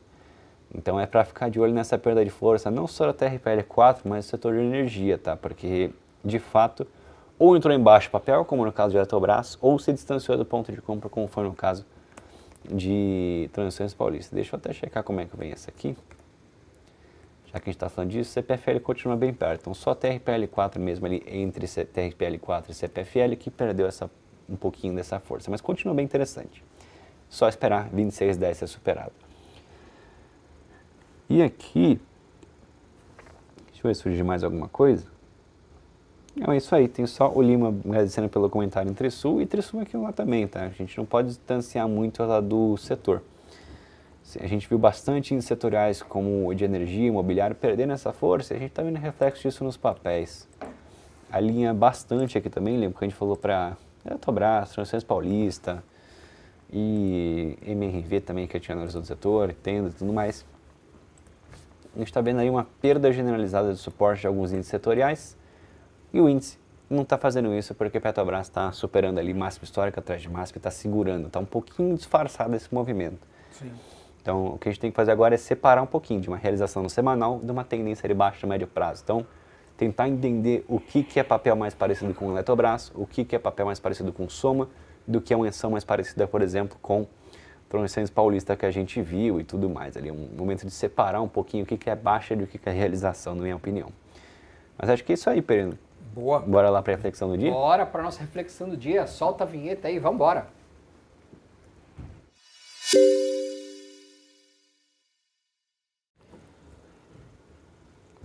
Vamos lá, pessoal. O tema de hoje é um tema bem legal, é um dos das grandes discussões da análise gráfica, quando a gente começa a, a falar aqui das discussões de análise gráfica, com análise fundamentalista, é, que é a questão né, do, do preço descontar tudo, né, que já vem lá da teoria de Dow. Né? Então, a grande pergunta que eu quero trazer para vocês. A grande pergunta é: o preço desconta tudo conforme a teoria de Dow? E a questão do mercado eficiente? Como é que você equilibra isso no mercado de hoje, né? O mercado que funciona. Eu diria que tem uma grande diferença entre esses dois pontos, essas duas teorias aqui, nós vamos trabalhar sobre isso, que é distorções de mercado. Distorções de mercado, quando você fala em o preço desconta tudo, né? Você engloba ali diversos investidores e você aceita alguns investidores que tenham necessidades diferentes. Então, quando você olha ali o preço desconta tudo, você está assumindo que tem investidores fundamentalistas, investidores que usam a razão, investidores que usam a emoção, usam análise gráfica, usam, é, vamos dizer assim, é, quedas como oportunidades, altas como oportunidades, ou seja, oportunidade de vender, oportunidade de comprar na baixa, enfim. Mas perfis de investidores que muitas vezes são movidos por impulsos, né? por sentimentos. Eu acho que está barato, eu sinto que nesse preço está barato aqui, ou o contrário, estou precisando de dinheiro, preciso resgatar o dinheiro da minha conta. Ou ganhei um dinheiro a mais aqui, eu preciso alocar ele em ações. Não necessariamente porque é, seja interessante, mas dentro de um portfólio que ele tem. Então, esse tipo de coisa acaba, em alguns casos, ou na maioria deles, gerando distorções. Quer um exemplo? Um exemplo de distorção foi a mínima ali de março de 2020 dos mercados, onde depois ali que foi iniciado aquela queda do Covid, os mercados caíram 30%, 40% e marcaram uma mínima. Aquele momento ali, claramente, em algum momento, houve uma distorção, porque o mercado voltou rápido. Então, a grande diferença entre mercado eficiente e o preço desconta tudo, eu diria que é a questão da distorção. Por que, que eu falo isso? Porque quando você olha uh, o preço desconta tudo e você assume que tem diversos investidores ali, você busca entender que a maioria deles é, vá, vão, né, a, a maioria ali, eles vão buscar uma racionalidade, tá? Na hora de investir e na hora de agir. Porém, quando você busca os extremos, né? E aí, ou seja, aquela, vamos falar assim, a bolha da internet que foi em 2000, né? Aquilo foi um extremo para cima, aquilo foi uma distorção. Por mais que o preço desconta tudo, o preço estava descontando ali na imediatismo, vamos falar assim de uma forma bem imediata, é, algumas pessoas irracionais ali operando, achando que tudo ia dar certo, que as coisas todas iam dar certo. Tá? O que já não aconteceria num mercado eficiente. Né? Então, o mercado eficiente ele defende que todos os investidores ali teriam razões, teriam utilizariam da razão, né? Então, exemplo, ah, o mercado na época do Covid caiu 50%, eles estariam ali, né, racionais, porque de certa forma as coisas estavam, nada tinha mudado e tudo mais. Você tem a questão de que num mercado eficiente todos os investidores teriam as informações ao mesmo tempo, então teoricamente não não não teria é, criar, não teria espaço, margem para distorção. O que, que isso, ao meu entendimento aqui, você restringe um perfil de investidor. E quando você restringe um perfil de investidor, você está assumindo que aquele investidor, por exemplo, ele está com a alocação certa de bolsa. Você está assumindo que ele está uh, é, com a a, com o, o tamanho da posição adequada, com o perfil de risco extremamente ajustado, que ele está acompanhando o mercado e todas, e todas as informações com relação àquela empresa e ao que acontece com o mercado internacional, porque se, você, se todos os investidores recebem ao mesmo tempo o que está acontecendo fora lá, lá fora, que é um risco de mercado, o que está acontecendo lá fora, que impacta né, a bolsa como um todo, e você tem um risco da empresa que também né, impacta, você teria que estar assumindo tudo isso. Então, seria muito mais ligado a um perfil de um investidor que está muito mais ativo do que a gente sabe que acontece. Né? Então, por exemplo, você tem diversos investidores. Você tem investidor comum, investidor de é, que a gente chama o investidor individual, né, pessoa física, que muitas vezes ele tem um horizonte mais longo que ele não toma essas decisões no dia a dia. Para ele tá tudo certo. Muitas vezes ele tem ali o investimento dele e ele verifica uma vez por mês. Ele não vai ter mesmo a, a todas as informações. Ele não vai mudar ali a decisão dele, né? De acordo com uma, uma notícia de um dia para o outro. Por outro lado, você tem outros investidores que de repente surge uma oportunidade. Ele viu uma oportunidade ali de comprar um imóvel que está mais barato e aquele outro investimento talvez seja mais lucrativo do que na bolsa, e aí ele tem a necessidade de resgatar. Ah, mas tem um potencial de alta. Tudo bem, tem um potencial de alta, mas o, ele vai pegar esse dinheiro que tem um potencial de alta, de repente, de 15%, como o, o, o Vitor Natal comentou, mas ele vai investir num outro negócio que talvez vai dar 30%, 40%. Então, quando você restringe demais e aceita que o mercado busca, né, que o mercado é eficiente, você está negligenciando esse outro perfil de investidor. O que a gente entende que, pelo menos eu, não é assim que funciona. Tá? Então, eu entre pensar num cenário de o mercado desconta tudo e pensar num cenário onde mercado eficiente, eu acredito que o mercado desconta tudo, segundo a teoria de Down, ela engloba mais investidores. Mas assumir que o mercado desconta tudo e que o que o mercado negocia é a realidade do momento, é aí que também eu acho que não funciona. Por quê? Porque quando você entra no limite de distorção, você vai errar a sua análise. Vou dar um exemplo. Você pega ali na bolha de 2000 olhando a análise gráfica, se olhar, se você for fazer essa análise, ah, o preço desconta tudo, você está vendo um negócio extremamente forte, você vai falar assim, tá tudo otimista, vai continuar e tá todo mundo otimista. Só que tinha ali uma distorção. E nessa distorção o mercado fez assim, corrigiu para a média. Na época do Covid, ali em março de 2020, quando o bolsa bateu aqui 62 mil pontos, parecia que o mundo, né, a bolsa ia para 30 mil. Então, é, o que eu quero trazer aqui, só para a gente afinar e ajustar essa questão né, do preço desconta tudo, ele é muito imediatista. Tá? Então, talvez você possa adicionar o preço desconta tudo, né? mas a tendência e você ter ferramentas para você identificar se não está muito. As palavras que a gente utiliza aqui: esticado, distorcido.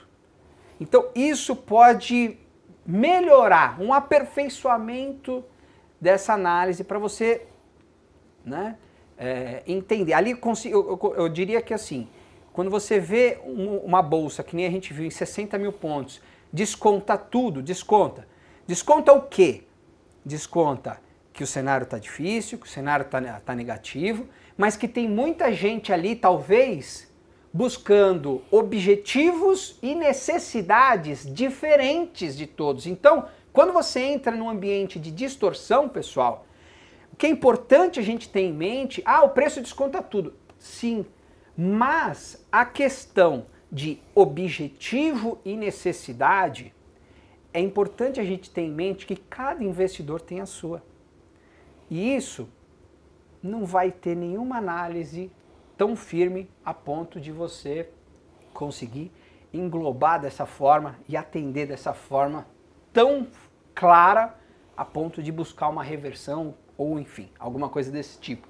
Então, o ponto que eu só que eu quero chamar a atenção aqui de vocês, tá? Nesse sentido, deixa eu só ajustar minha tela aqui que minha tela acabou bloqueando. Ponto que eu quero só chamar a atenção que buscar o preço desconta tudo? Sim, ele desconta tudo. Mas tomar partido a partir dele pode ser que você está entrando num ponto de distorção. E distorção, ela não funciona tão bem com o mercado desconta tudo, né? Então, não é a, a, a equação é, ah, o mercado está caindo, não para de cair, está tudo horrível, então vai desmoronar tudo cuidado nessa análise. Preço desconta tudo, mas muitas vezes pode ser que você entrou num nível de distorção. E o mercado eficiente diz que ela não existe. Essa é a grande diferença, pelo menos na minha opinião aqui, na forma como eu enxergo e é uma forma que eu gostaria de compartilhar aqui dentro do que foi me apresentado nessa reflexão. Lucas, sua vez agora. É, agora eu tenho dois minutos para explicar acho, nos temas mais complexos que eu acho no mercado, mas eu gosto bastante disso, dá até para a gente retomar numa segunda ocasião. Ah, claro. Mas vou voltar na pergunta do Jota. Ele perguntou como é que o mercado eficiente se relaciona com um dos princípios, os fundamentos da análise gráfica, que é que o preço desconta todas as informações. Eficiência de mercado está relacionada ao quão bem o mercado incorpora informação nova, informação nova e passada. Se ele incorpora só informações passadas, é uma eficiência fraca. Se ele incorpora informações públicas, é uma eficiência semi-forte. Se ele incorpora públicas e privadas, ele é forte. Ou seja, tem níveis de eficiência também. Você consegue medir a uma escala. Agora, qual é o problema? Como a Pena falou, isso parte de uma teoria que usa umas premissas que a gente sabe que já não são tão certas. Por exemplo, o investidor é sempre racional. Não tem custo de transação entre os investidores. Todo mundo recebe informação ao mesmo tempo e interpreta da mesma forma. Então a gente já sabe que. Você seleciona um perfil, né? Seleciona é... um perfil. E aí tem a segunda parte. Olha para a análise gráfica. A gente vê aqui muito em termos de tendência de preço.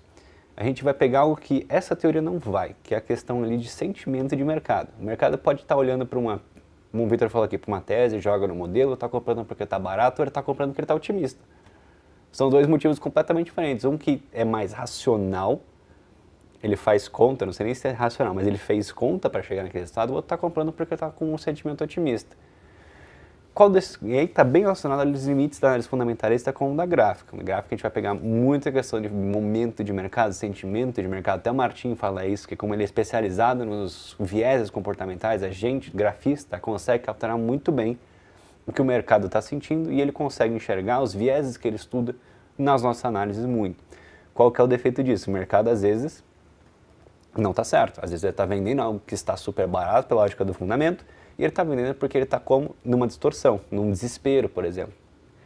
Ele está desesperado, estourou uma pandemia, ele começa a vender tudo sem critério e aí começa tudo a cair. Isso se vira uma bola de neve porque estou vendendo porque está caindo, aí está caindo, estou vendendo porque está caindo, eu com medo, está pegando meu stop e aí vai virando. Uma coisa mais sentimental. Por outro lado, o fundamento vai deixar talvez um pouco de lado essa questão do momento otimista, ou seja, bolsa subindo por conta de inteligência artificial. Até você ajustar sua conta, entender que vai mudar a receita, vai mudar o lucro das empresas, demora e você perdeu o movimento. É o que geralmente acontece nesses dois, tá? Como é que você lida? Aí é um pouco de, na minha opinião, de misturar um pouquinho do que, que o gráfico te diz, o que, que o fundamento te diz. Conversam, na maioria das vezes? Conversa. Quando eles não estiverem conversando, o que, que tá um está dizendo, o que, que o outro está te dizendo, e aí tenta ajustar isso. Não deixa não ter um. Quando você for começar a entender o que cada um te diz e, e seguir um, meio, um, caminho no meio desses dois, não tem uma fórmula mágica, assim, uma fórmula exata para misturar quanto que é gráfico, quanto que é fundamento, mas é por esse motivo que eu gosto de entender ali o que, que o gráfico me diz, o que o fundamento me diz, porque eu entendo que as duas análises são boas, medem coisas diferentes, têm suas limitações, porque toda ferramenta vai ter, e a união dessas duas, na minha opinião, torna o investidor mais completo. Tem gente que concorda, tem gente que discorda, mas enfim, aí é, é um pouco Sim, na minha opinião. Claro, acho que esse é o ponto. Assim. O ponto é a gente trazer aqui é, opiniões, pontos de discussões aqui para até o investidor também entender um pouquinho. E lógico, talvez tem outras pessoas aqui que vão complementar o que a gente falou, tem outros pontos de vista. Então, assim, tá tudo certo e acho que é, é super razoável a gente entender que é aberto, né? É isso aí. Bom, pessoal, estamos chegando a mais um final de Dominando a Bolsa. Semana que começa, parece que começamos a perder um pouquinho de força. Lá fora bateu mínimo agora 0,28. Vamos acompanhar, vamos ter um pouquinho de paciência. Semana que segue, na esperança de dias melhores e buscar ali os 118,900. Um grande abraço e até amanhã. Pessoal. Até amanhã, pessoal.